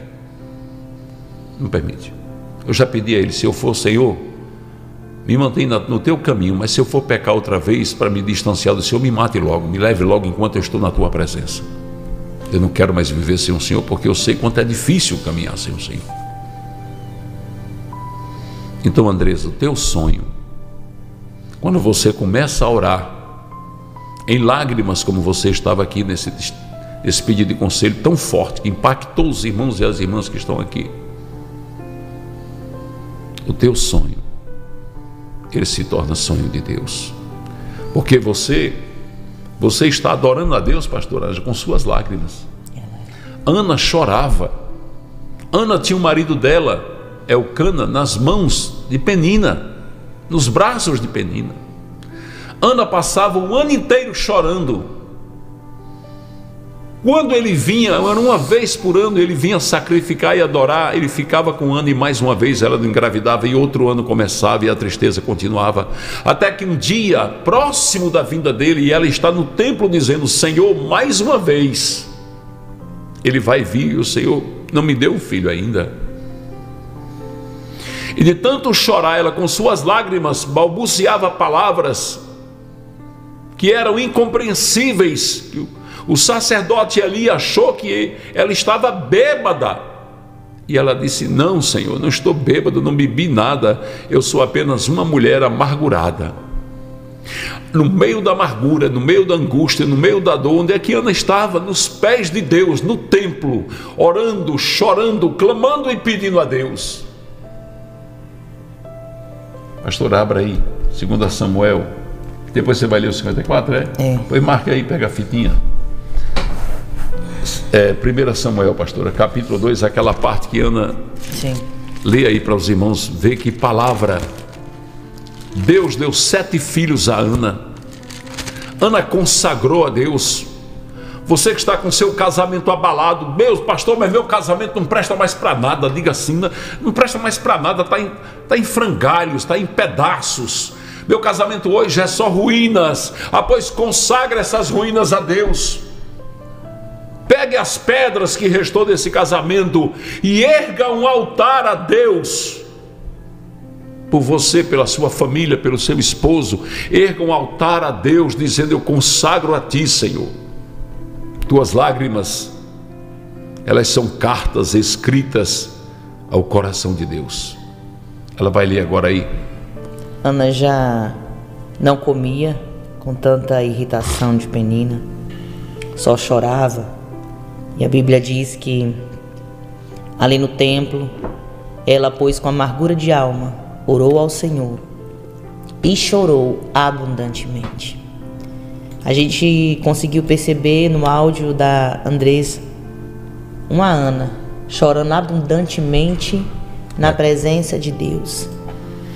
E o que Ana fez foi aquele voto que agradou a Deus, porque ela disse: Te lembrares, Senhor, da tua serva, dela não te esqueceres e deres um filho varão. Ao Senhor o darei por todos os dias da sua vida. Ana faz como Andrés, fez como Andrés está fazendo. Eu espero no Senhor e o que o Senhor quiser entregar a mim, conseguir o desejo do meu coração, é para glorificar o teu nome. É com o propósito do teu nome, Senhor, ser louvado na minha vida. Não é fácil a gente orar e chorando, o coração apertado apertado, a alma dilacerada e você dizer: Deus, eu aceito o que o Senhor quer para mim. Quando a gente diz isso, é a gente dizendo: Senhor, Talvez nem seja o que eu quero, o que eu espero, mas eu aceito, porque eu sei que o que vem do Senhor é melhor. essa é a adoração que agrada a Deus, na lágrima, no pranto, no choro, na dor de uma situação, você dizer que ama o Senhor, que espera no Senhor, que confia no agir dele. Você até chegar a dizer, Deus, se eu errei, já passou, não tem mais o que fazer, agora é o Senhor para chegar na minha vida. Eu vi várias irmãs aqui dizendo é, de versículos do, do capítulo de Isaías que a Andressa falou, que também são versículos que acompanham né, essas irmãs em suas caminhadas com Deus. Irmãs que colocaram, pastor, eu já vivi esse momento de dor, de espera e hoje eu estou na bênção. Outras que estão dizendo, eu me encontro na mesma situação dessa irmã. E através desse conselho, Andressa, muitas irmãs também estão sendo recebendo refrigério, estão também sendo abraçadas, ministradas pelo Espírito Santo, na sua dor de espera, na sua dor de muitas vezes dizer: Deus, e aí é o que, que o Senhor quer? O que é que o Senhor quer? Eu quero o que o Senhor quer para mim. Mas ela disse algo tremendo. Ela disse que, que Deus pode restaurar, eu não tenho dúvida. E aí, pastor? É. É, a fé. Que Deus pode fazer? Pode, Senhor. Mas é isso que o Senhor quer fazer? Que o Senhor pode, que o Senhor restaura? Eu não tenho dúvida. Porque tu és poderoso. Tu és tremendo. E às vezes você fica como Ana esteve diante do sacerdote Eli, sendo tão incompreendida né, na sua dor. Muitos dizendo, já se passou tanto tempo, já era para você estar conformada, né? Levanta, levanta a cabeça, dá a volta por cima, bora, tem que viver. E mesmo tendo se passado dois anos, como ela falou, a gente percebe na, na voz, né? No expressar, como ainda dói, né, Andrés? Como parece que foi ontem, e Deus bem sabe. Eu quero deixar aqui para a gente então se deleitar também, como a Andressa falou, que era como se as letras saltassem aos seus olhos. No capítulo 54 de Isaías, que é um capítulo que fala do progresso, da glória de Sião, e diz a palavra do Senhor: Canta alegremente, ó estéreo, que não deixa a luz. Exulta de prazer com alegre canto e exclama tu que não tiveste dores de parto porque mais são os filhos da solitária do que os filhos da casada, diz o Senhor. Amplia o lugar da tua tenda e as cortinas das tuas habitações se estendam, não o impeças, alonga as tuas cordas e firma bem as tuas estacas. Porque transbordarás a mão direita e a esquerda, e a tua posteridade possuirá as nações, e fará que sejam habitadas as cidades assoladas. Não temas, porque não serás envergonhada, e não te envergonhes, porque não serás confundida. Antes te esquecerás da vergonha da tua mocidade e não te lembrarás mais do opróbrio da tua viuvez. Porque o teu Criador é o teu marido, Senhor dos exércitos é o seu nome, e o Santo de Israel é o teu redentor. Ele será chamado o Deus de toda a terra. Porque o Senhor te chamou como a uma mulher desamparada e triste de espírito, como a uma mulher da mocidade que é desprezada, diz o teu Deus. Por um pequeno momento te deixei, mas com grande misericórdia te recolherei. Em grande ira escondi a face de ti por um momento, mas com benignidade eterna me compadecerei de ti, diz o Senhor, o teu redentor. Porque isso será para mim como as águas de Noé, pois jurei que as águas de Noé não inundariam mais a terra. Assim jurei que não me iraria mais contra ti, nem te repreenderei. Porque as montanhas se desviarão e os outeiros tremerão, mas a minha benignidade não se desviará de ti, e o conserto da minha paz não mudará, diz o Senhor, que se compadece de ti. Ó oprimida, arrojada com a tormenta e desconsolada, eis que eu porei as tuas pedras com todo o ornamento e te fundarei sobre safiras. E as tuas janelas farei cristalinas e as tuas portas de rubins e todos os teus termos de pedras aprazíveis. E todos os seus filhos serão discípulos do Senhor, e a paz de teus filhos será abundante. Com justiça serás confirmada e estarás longe de opressão, porque já não temerás, e também do espanto, porque não chegará a ti. Eis que poderão vir a juntar-se, mas não será por mim. Quem se ajuntar contra ti, cairá por amor de ti. Eis que eu criei o ferreiro, que assopra as brasas no fogo, que produz a ferramenta para a sua obra. Também criei o assolador para destruir. toda ferramenta preparada contra ti Aleluia. não prosperará, e toda língua que se levantar contra ti em juízo, tu a condenarás. Esta é a herança dos servos do Senhor, e a sua justiça que vem de mim, diz o Senhor. Glórias a Deus. Louvado seja o nome de Jesus. Quero tocar um hino aqui de uma mulher que é um exemplo. Estou falando da cantora Monique, Sim. esposa do Nabuco. Casal que cantava juntos. E eu estou contando isso aqui, irmãos, porque ela contou na Pão da Vida e onde ela passa, ela canta. Ela, ela conta essa história. O marido dela, Nabuco, deixou ela por outra mulher. E ela sofreu muito ter perdido seu esposo para aquela amante. Mas ela, como Ana, foi adorar. Como Ana, ela foi buscar a Deus. E um dia, do nada, o seu esposo volta para ela. Amante do marido também era crente. E ela chega no culto, e quando ela está no culto, todos que estavam ali ficaram pensando: meu Deus, olha aí, Monique chegou e a amante, a ex-amante do marido está aqui. Criou-se aquela expectativa de uma briga, de que algo pudesse dar errado. Sabe o que ela fez? Na hora do apelo, ela foi lá onde estava a amante, pegou na mão dela e disse: Venha se reconciliar com Jesus. E levou a ex-amante do marido até o altar, onde a igreja, em choro, em lágrimas, contemplou a ação daquela mulher de Deus, levando a mulher que tinha lhe feito chorar tanto para voltar para Jesus. Deus, Ele é um Deus tremendo. Ele é um Deus de coisas grandes. Ele é um Deus que lhe realiza coisas tremendas. E essa mulher, ela é um grande exemplo de quem Deus é. E eles gravaram esse hino, Os Sonhos de Deus.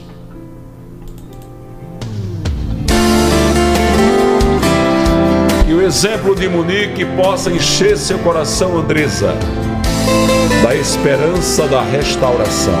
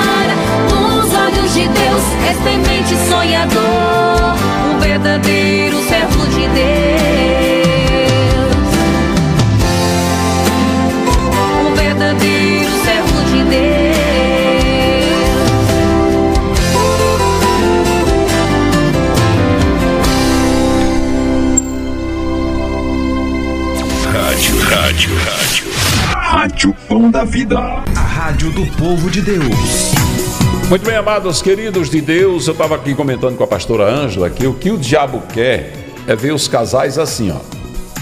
Pronto, saia tudo que o cão quer, é isso aí.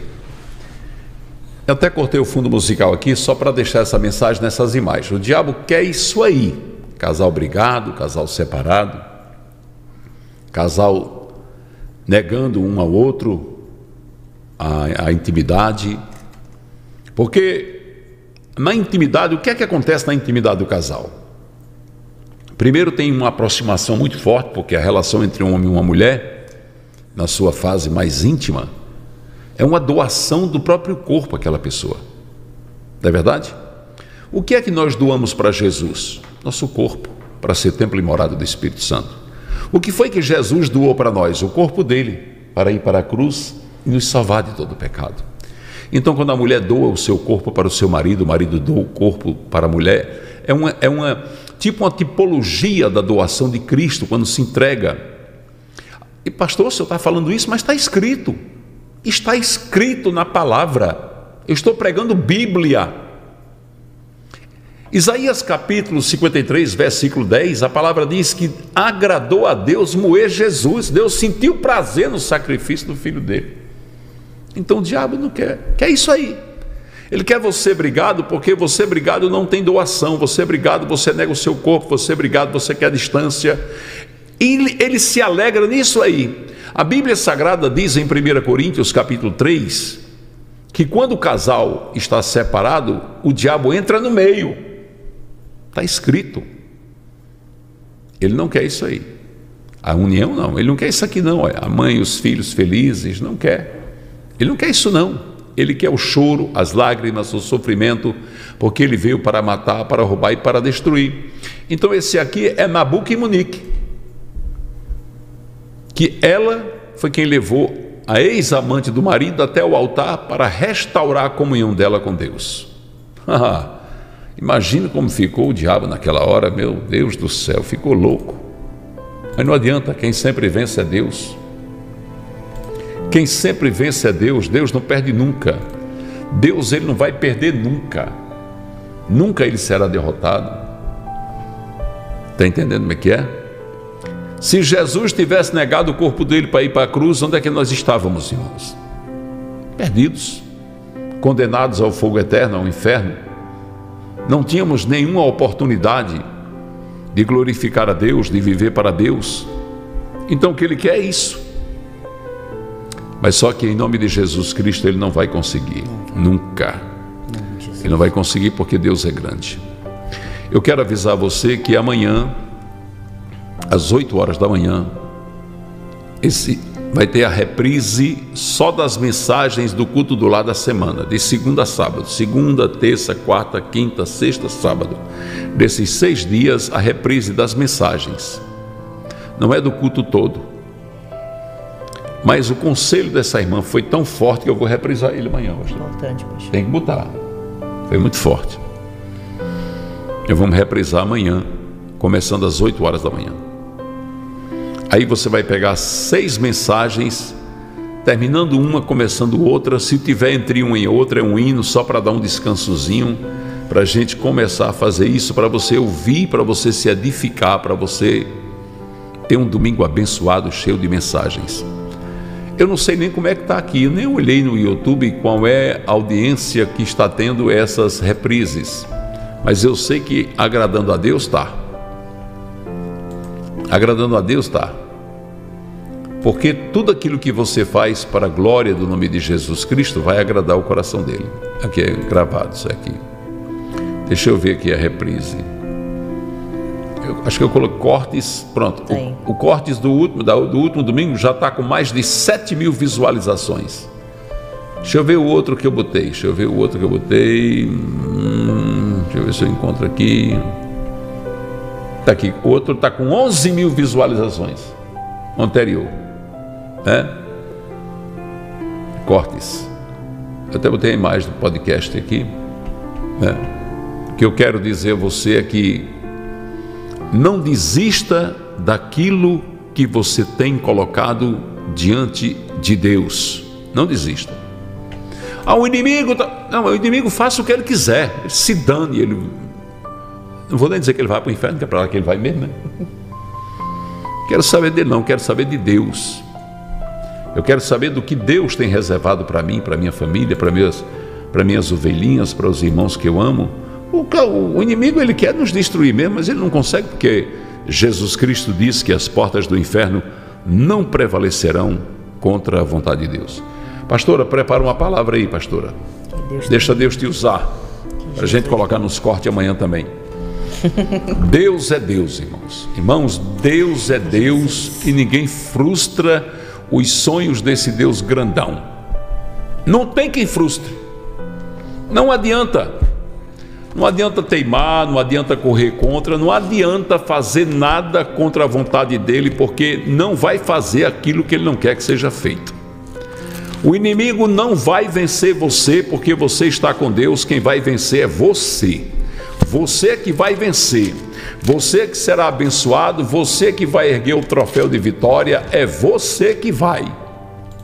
Vai recebendo aí. Eita Deus. Irmão José Silva botou que culto maravilhoso. Hoje foi forte, viu? Hoje foi forte, hoje foi tremendo. Espera aí a palavra. Deixa Deus usar a pastora Ângela para minha e para a tua vida. Amém, Jesus. Que Deus lindo, irmãos. Como nós reconhecemos que precisamos da mão de Deus, do poder de Deus, da ação do Senhor nas nossas vidas. Algo que alegra o nosso coração é a certeza de que o nosso Deus ele é suficiente para agir em todas as áreas da nossa vida. Ontem eu estava no canal e dando uma palavra para os irmãos. O canal dizia- Jesus é lindo. Enquanto ela está pregando, eu vou colocar aqui para vocês irem se inscrevendo, porque todo dia tem gente nova no canal, É o canal da verdade. pastora Se inscrevam, irmãos. A gente vai começar a colocar os cortes também do culto no Lalá, se Deus quiser. E a gente falava exatamente sobre a entrega da nossa causa ao Senhor. Nós precisamos levar a nossa causa, as nossas causas ao Senhor. E quando a gente fala de entregar ao Senhor essas causas, são os impossíveis. Porque, pastor, todos nós temos causas que fogem ao nosso controle. É verdade. Todos nós vivemos situações que deixa a gente buscando sem encontrar a saída. E a situação da irmã Andressa pode não ser a sua. Pode até não ser o que você está vivendo, o sofrimento que você está passando. Mas da mesma forma que a Andressa colocou nas mãos de Deus e está esperando no Senhor, confiando na ação do Todo-Poderoso para a sua vida, na decisão que Deus quiser, reconhecendo que a vontade de Deus é boa, perfeita e agradável, nós também devemos fazer assim. É sobre assim. todas as causas. Nós vemos o ministério de Jesus, um ministério marcado fortemente por plataformas de, de poder, de intimidade com Deus, de compaixão pelos necessitados, do Senhor chamar a gente para descansar, de socorrer as almas aflitas e de Jesus não se deter em cansaço demasiado para ajudar as pessoas. Não, eu estou cansado demais que eu não posso ajudar. No ministério terreno, nós vemos Jesus operando com curas, com milagres, e como a Bíblia diz que Jesus passava, e aonde ele passava era, era multidões que, é, que iam ao encontro do Senhor, outros que eram levados, e a gente vê cura sobre toda sorte de enfermidade. Eu falava para os irmãos, pastor, que eu gosto muito quando, quando o pastor diz assim, uma frase bem simples, mas muito poderosa no seu sentido, né, da ação do Senhor, que é para Deus tanto faz curar uma feridinha como um câncer, porque ele é poderoso para agir em qualquer situação. Nada diminui o poder de Deus, ele continua sendo fonte, jorrando poder, graça sobre as nossas vidas, e nós podemos pedir socorro ao Senhor. Talvez hoje você esteja dizendo, Senhor, a minha situação não é como a da irmã Andressa. Mas eu estou sofrendo demais, a minha alma está aflita e eu não estou suportando. Deus, eu estou chorando como Ana, Senhor, nos teus pés, na tua presença, pedindo que o Senhor me ajude, dizendo para o Senhor: Senhor, me tira dessa vergonha. E assim como Ana, eu não estou pedindo para o Senhor mostrar para a menina que o Senhor é Deus na minha vida, eu estou dizendo: Senhor, realiza com grande propósito, glorifica o teu nome através da minha causa. Você lançando sobre o Senhor essa ansiedade, esperando no Deus do impossível, a ação poderosa é, para chegar nessa causa. Nós podemos confiar em Deus. O salmista diz: Senhor, eu confio no teu amor leal. Então, Senhor, eu posso confiar a ti a minha vida, a minha família, os meus projetos, as minhas causas. E fazer como essa irmã que Aleluia. impactou nossas vidas nesta manhã, dizendo: Deus, eu espero no que o Senhor quiser para mim, eu aceito. O Senhor operou libertando. Pense no coração dessa mãe que também pediu um conselho, sabendo que o seu filho está preso e o que eu posso fazer, Deus, eu não posso estar lá. Eu não posso passar a mão na cabeça e dizer, filho, encosta aqui. Eu não posso estar o tempo todo consolando, mas eu sei, meu Pai, que tu és aquele que liberta, tu és o Deus da causa dos oprimidos. Eu sei que eu posso orar e o Senhor chega lá acalmando o coração e trabalhando nessa situação, porque não tem grade que impeça o Senhor de agir em um coração. Eu sei que tu és poderoso para libertar, Senhor, não só de uma grade de prisão, mas de um vício, Senhor, de toda maldade. Deus, eu posso. Assim como o Senhor, eu quero orar e na intimidade com o Pai descansar o meu coração, sabendo que o Senhor está me vendo. Ei, Deus está te vendo. Aleluia. Jesus conhece a tua situação. É verdade. Eu sei que às vezes nós dizemos, Deus toma a minha causa, mas a gente, sabe, fala por falar. Quando nós devemos fazer dessa maneira, ainda que chorando, ainda que doendo, mas uma entrega em louvor, em adoração. Senhor, toma aqui. Toma aqui, Senhor, a minha causa. Toma aqui, Senhor, esta vida por quem eu tanto oro. Toma aqui, Senhor, tudo que eu estou vivendo. Sabe quando a gente reconhece que não pode fazer, mas sabe que Deus pode fazer? Quando você reconhece que você é fraquinho demais para se levantar e determinar algo, mas você sabe que Deus é todo poderoso e que a última palavra ainda é dele. Jesus operando, ele operou aonde já se tinha colocado um ponto final, aonde havia lágrimas. E Jesus chega para dizer: Epa, Marta, Maria, eu ainda coloco a minha assinatura nessa história. Aleluia. A última palavra ainda é minha. Glória a Deus. Jesus traz vida. Jesus ressuscita sonhos. Jesus opera aonde, irmã? Aonde eu e você não podemos chegar. Eu quero te convidar nesta hora a entregar a sua causa ao Senhor e fazer uma oração e ser impactado por Deus.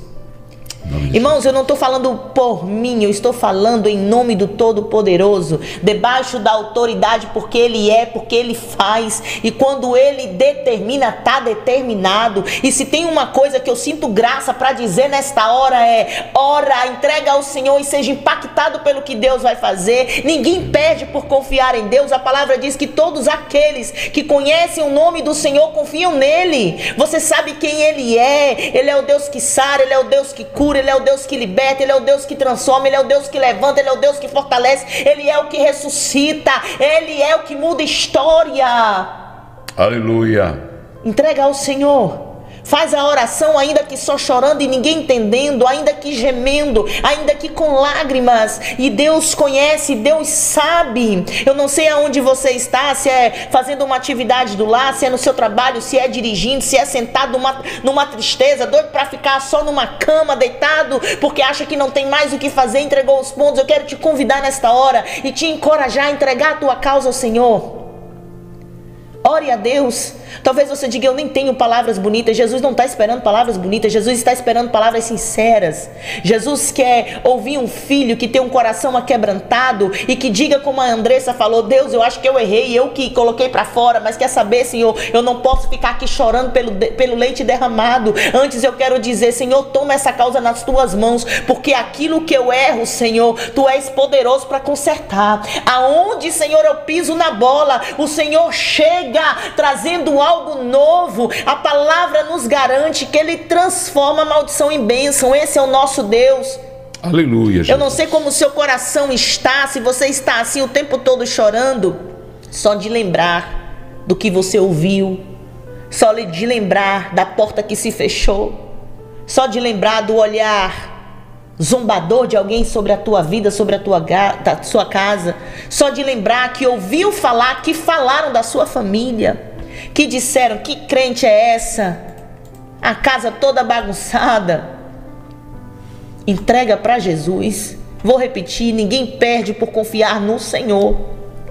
Entrega a Ele e faz aquela oração, ainda que seja a oração de uma frase: Senhor, cumpre o teu querer nessa causa. Faz a tua vontade, Senhor, e glorifica o teu nome. Em nome de Jesus, eu quero orar com você nesta hora por esta causa. Sim, meu por Deus. este impossível. Irmãos, eu amo quando Jesus nos dá essa liberdade, quando ele faz a gente sentir a graça dele e dizer: vai liberando aí, filha, porque eu tô fazendo, vai liberando porque eu tô só querendo ouvir as conversas dos meus filhos, as frases deles, as declarações deles subindo ao meu trono de glória e confiando que eu posso fazer, porque eu já estou pronto é para operar Aleluia. nesta causa. Pastor, nessa semana falou sobre sinais de Deus e eu quero. O Senhor está dando graça, Ele está dizendo. Vocês abriram a semana falando sobre sinal. Então fecha a semana falando também, porque eu vou dar sinal para crente. Aleluia. Irmão, mas como é que vai ser esse sinal? Irmão, você vai sentir uma graça, um poder, uma presença que vai ter sinal você andando no trânsito e você dizendo: Jesus, que negócio é esse? Eu não estou aguentando, eu vou chorar. É o Senhor trabalhando, operando. Vai ter crente, pastor, que vai testemunhar, porque é isso que o Senhor me mostra e eu creio, Pai. Tu sabes como eu creio naquilo que o Senhor diz. Vai ter crente dizendo, pastor, que o sinal foi através do, como é que chama? Do semáforo. Eita como é que vai ser isso? Não sei não, mas se Jesus está dizendo, eu creio. Se Jesus está dizendo, eu creio. Porque a irmã falou que ia pedir ao Senhor o quê, pastor? Prova com Deus, não foi? Foi. Ela disse, Senhor, eu vou fazer como Gideão, eu quero, eu quero fazer prova com o Senhor, se é isso mesmo. Eu me lembro de uma um culto do amigo que nós fizemos na igreja Pão da Vida, lá, ainda quando era no prédio pequenininho. E naquela responsabilidade do culto do amigo. Irmãos, a gente quer alma para Jesus. A gente quer vidas se rendendo aos pés do Senhor. E eu estava lá numa noite, fazendo umas lembrancinhas para aquele culto do amigo. E já era tarde. Já ia entrar na madrugada e eu ouvindo no aplicativo da rádio. E começou um louvor e eu disse: Deus. O Senhor me disse assim: Olha, filha, quando você chegar lá, você já vai dizer que tem vidas se rendendo nesta noite. Aleluia. Aí eu fiquei, Senhor, mas se eu disser isso e ninguém aceitar o Senhor, Hum. né? Que a gente fica. Porque era tudo que eu queria, claro, que aquele culto do amigo tivessem vidas no altar. E o Senhor disse: você vai chegar lá. Assim que abrir o culto, você já vai dizer: Nesta noite tem salvação. Aleluia. Disse Deus. Se a ousadia vem do teu espírito, a gente faz, né? Mas aí aquele receio, eu disse: Senhor, me confirma se é isso mesmo, me dá um sinal. Eu disse: Deus. Aí tava tocando, começou a tocar aquele louvor, pastor. Raridade. Você é o espelho que reflete a imagem do Senhor, que é muito Eu né, lembro- eu lembro disso. desejado, né? É, é muito tocado, principalmente para esses momentos. Aí começou a tocar aquele louvor e eu fazendo lá a lembrancinha. Eu disse, Senhor, se é mesmo o Senhor que está falando comigo agora, esse louvor vai repetir. Terminou o louvor, começou de novo o mesmo louvor. Aí eu dei uma de Gideão, né, paixão? Aí eu disse, Deus, pode ser que lá na rádio colocaram para repetir o playlist e na repetição caiu no louvor de novo. Então, se é o Senhor, agora não vai tocar o mesmo louvor. Aí foi, Colocou, entrou outro louvor, já não era mais o raridade. Mas aí, crente, não era testando Deus, mas Deus conhece o nosso coração, era temor para fazer aquilo que Deus queria. Aí lá vai eu de novo, Senhor, só mais essa vez. Se é o Senhor mesmo que está falando comigo, vai tocar de novo raridade. Quando terminou o louvor que não era raridade, entrou de novo raridade, pastor. Aí eu disse, Deus, tu és tremendo. Fiquei ali maravilhada com a ação de Deus naquela hora. Eu fiquei, Deus, me perdoa, Pai.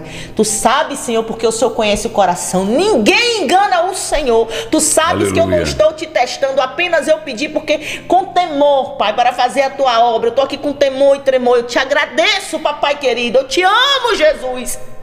Obrigada, Pai, pelos teus sinais. Eu disse, mas só para fechar, Jesus. Se é o Senhor, pronto, não vai tocar raridade mais não. Aí pronto, aí mudou.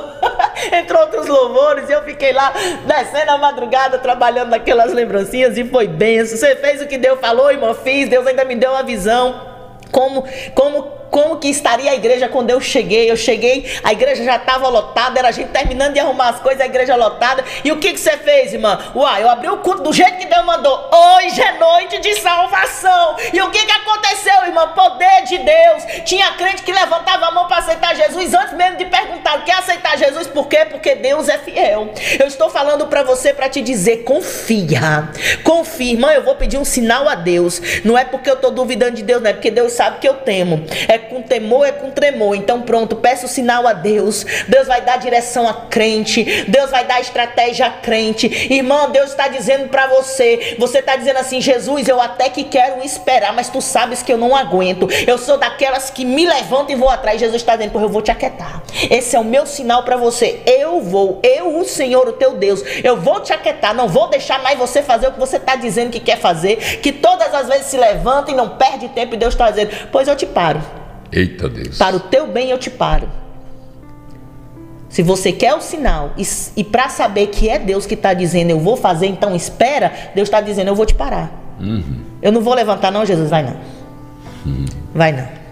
Porque se você quer a vitória de Deus e você entregou a causa nas mãos do Senhor, Ele está dizendo eu faço. Quem confia nele vê coisas grandes acontecendo, irmãos. Deus é fiel demais, Deus é tremendo demais. Eu sei que vai ter filhos dizendo: Deus, eu posso pedir um sinal assim? Tipo, o que, que eu posso falar? A pastora Ângela disse que ela pediu o sinal. Eu, e se eu disser ao Senhor para fazer assim? E se eu disser para você que de madrugada teu marido vai te acordar? Eita. É ele que vai chamar você para orar. Irmão, isso vai acontecer? Deus está dizendo que é para alguém aqui. Você vai. Agora, irmão, testemunha. Não é para dizer a pastora Ângela falou, não sou eu que estou falando, porque eu não tenho como garantir nada, nem ao meu respeito. É para louvar, engrandecer o nome do Senhor, edificar a fé dos irmãos, porque Deus não faz só nas nossas vidas, não. Ele faz na vida de todos aqueles que a palavra diz que buscam, esperam, amam, temem ao Senhor. Aleluia! Para dar glórias a Ele, porque é Ele, viu? A oração é poderosa, não é porque é a gente ora, é porque é Ele que ouve. É Ele que ouve. Você tem fé que Ele ouve e Ele, com a sua mão estendida, opera em seu favor. Eita. E nós vamos orar nesta hora. Amém? Por essa causa aí. Por essa vida aí. Por essa situação aí. Que você até está dizendo, Deus, eu não sei nem como orar. Jesus entende. Aleluia, Jesus. Pai querido e Deus amado, Senhor Sim, das papai. nossas vidas. Eu quero te louvar, Senhor, com meus amados irmãos, Pai, porque tu és fiel. É, Não há nada, Senhor, que impeça o teu agir. Não há nada, Deus, que detém a tua mão poderosa quando o Senhor quer fazer algo. Pai, é nesta hora que nós oramos juntos, Pai, numa certeza. O Senhor sabe trabalhar. O Senhor sabe o tempo certo de agir. O Senhor sabe como tocar o coração. O Senhor sabe, Pai, como mexer na estrutura do homem. O Senhor sabe, meu Deus, porque o Senhor nos criou, nos formou.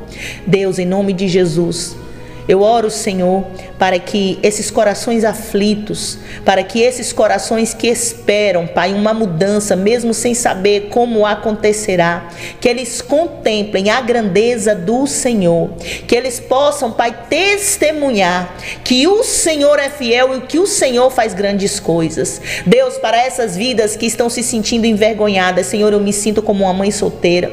Deus, eu me sinto como uma viúva com marido vivo. Senhor, eu me sinto mais É desprezado da minha casa. Senhor, ninguém me chama para nada porque olha para mim como o menor da minha casa, mas eu espero em ti, Senhor. Eu espero no Senhor.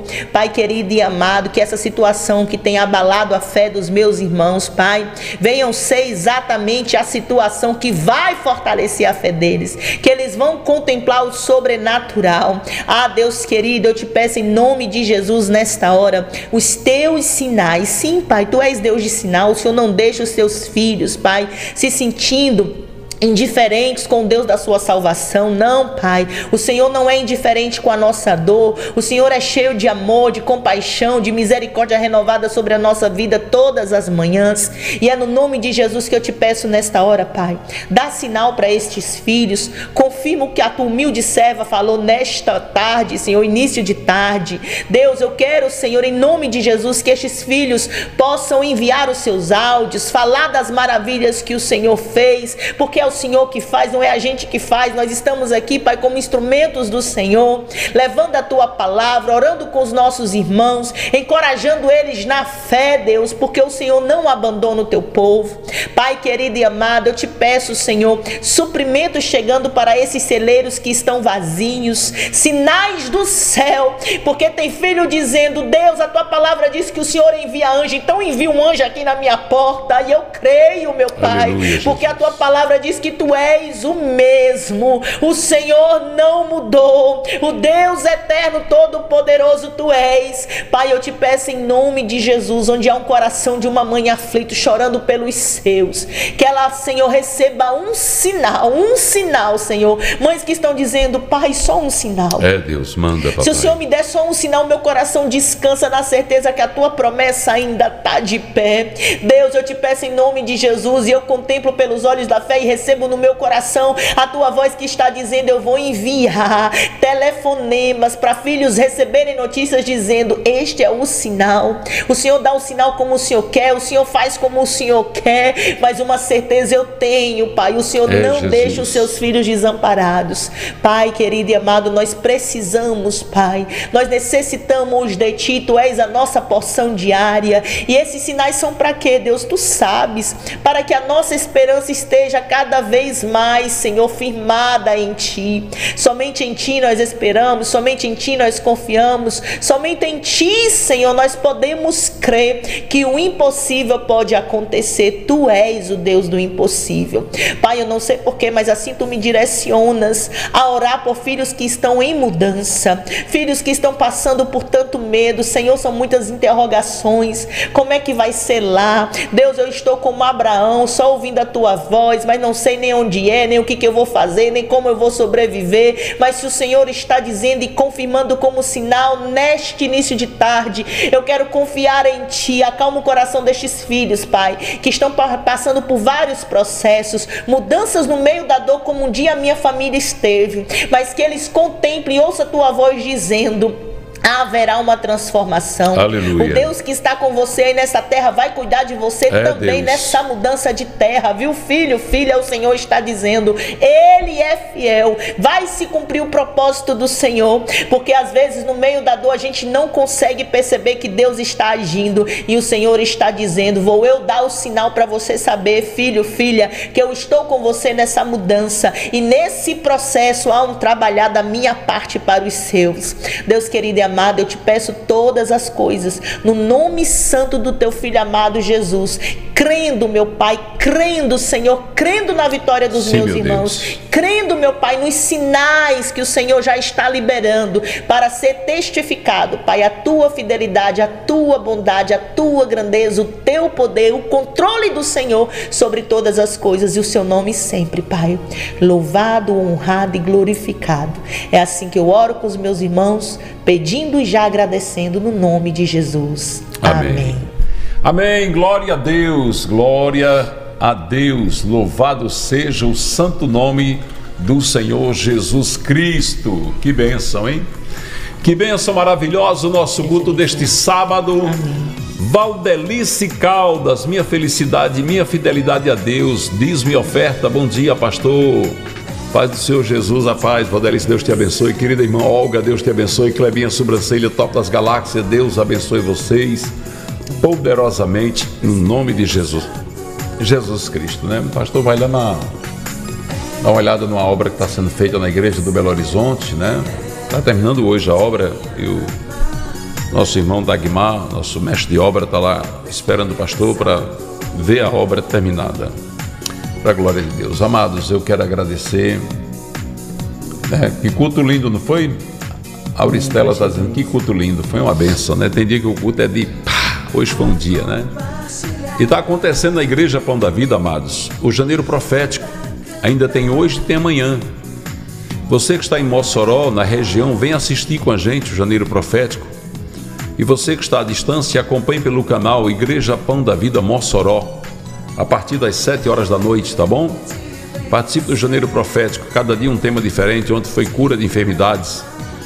Eu falei na sexta-feira sobre família e amigos, a salvação de família e amigos.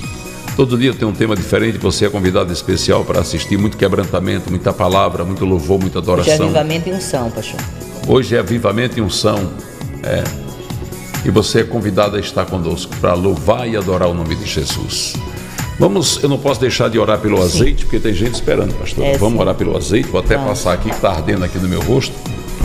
Eu sei que aqui já não viram uma ferida porque esse azeite não deixou, Jesus não deixou através dele. Vamos orar, vamos consagrar, pega aí o seu azeite. Vamos consagrar a Deus que não podemos ficar sem a oração de cura, maravilhoso Pai, Santo e Eterno Deus. Sim. Aqui está o azeite santo. Pai, a tua palavra nos diz que ele é símbolo do teu sangue e do teu Santo Espírito. E o Senhor tem feito milagres e maravilhas através desse azeite que está em minhas mãos e nas mãos dos irmãos e irmãs do Brasil e no mundo. Paizinho querido, abençoa agora este azeite que está em nossas mãos, estendendo Jesus a tua mão santa e derramando a tua unção de cura sobre todo este azeite. Que todas as vezes que ele for usado, o teu nome santo seja glorificado, meu Pai. Abençoa, Paizinho querido, os nossos dizimistas e ofertantes, recompensando-os com o milagre da multiplicação, com saúde e paz. Atende, Deus, a todos que têm votos e propósitos com a Igreja Pão da Vida, com a Casa do Pai Abençoa Deus, teus filhos e filhas que oram e amam esta obra, porque sabem que ela é a obra do teu coração. E abençoa agora, meu Paizinho querido, esta oração que nós vamos fazer, Pai, para vidas serem abençoadas, vidas serem cheias da tua presença, da tua unção milagrosa. Opera, Deus, agora curando toda enfermidade, sarando toda ferida, no nome de Jesus Cristo, no poder do sangue de Jesus. Estamos aqui com a nossa imposição de mãos, porque o Senhor disse: imporão as mãos sobre os enfermos, eles serão curados, em meu nome expulsarão os demônios, e tudo que pedirem em nome de Jesus receberão. Em nome de Jesus. No poder do sangue do Cordeiro, estamos pedindo a cura, a cura de toda enfermidade. Estamos pedindo a cura de toda enfermidade em qualquer parte do corpo. Estamos pedindo também que a família seja restaurada que haja mesa farta, celeiro cheio, portas abertas. Que Deus abençoe as famílias com suas bênçãos celestiais. Receba a sua cura, meu irmão. Sim. Minha irmã, receba agora, diga eu tomo posse dessa cura. Sim, Se tem alguém na família doente, passe o azeite em seu corpo como se estivesse passando no dela. Não esqueça de blindar os portais da sua casa, portas e janelas não esqueça de passar o azeite no automóvel, na moto, nos transportes da família, nos bens da família. Você está construindo, unja a sua construção com esse azeite santo, para que Deus abençoe em todas as áreas de sua vida. Receba a sua cura, receba bênção, milagres e maravilhas da parte do Senhor Jesus Cristo. Amém. Amém. Amém, Igreja Santa, Igreja Amém. comprada com o sangue do Cordeiro Bênção demais esse culto, meu Deus.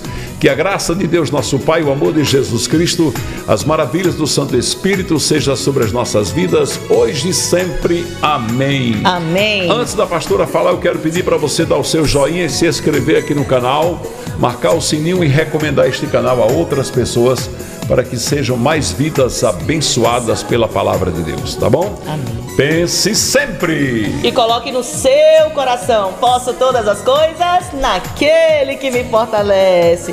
Que Deus lindo, que Deus tremendo. Beijo.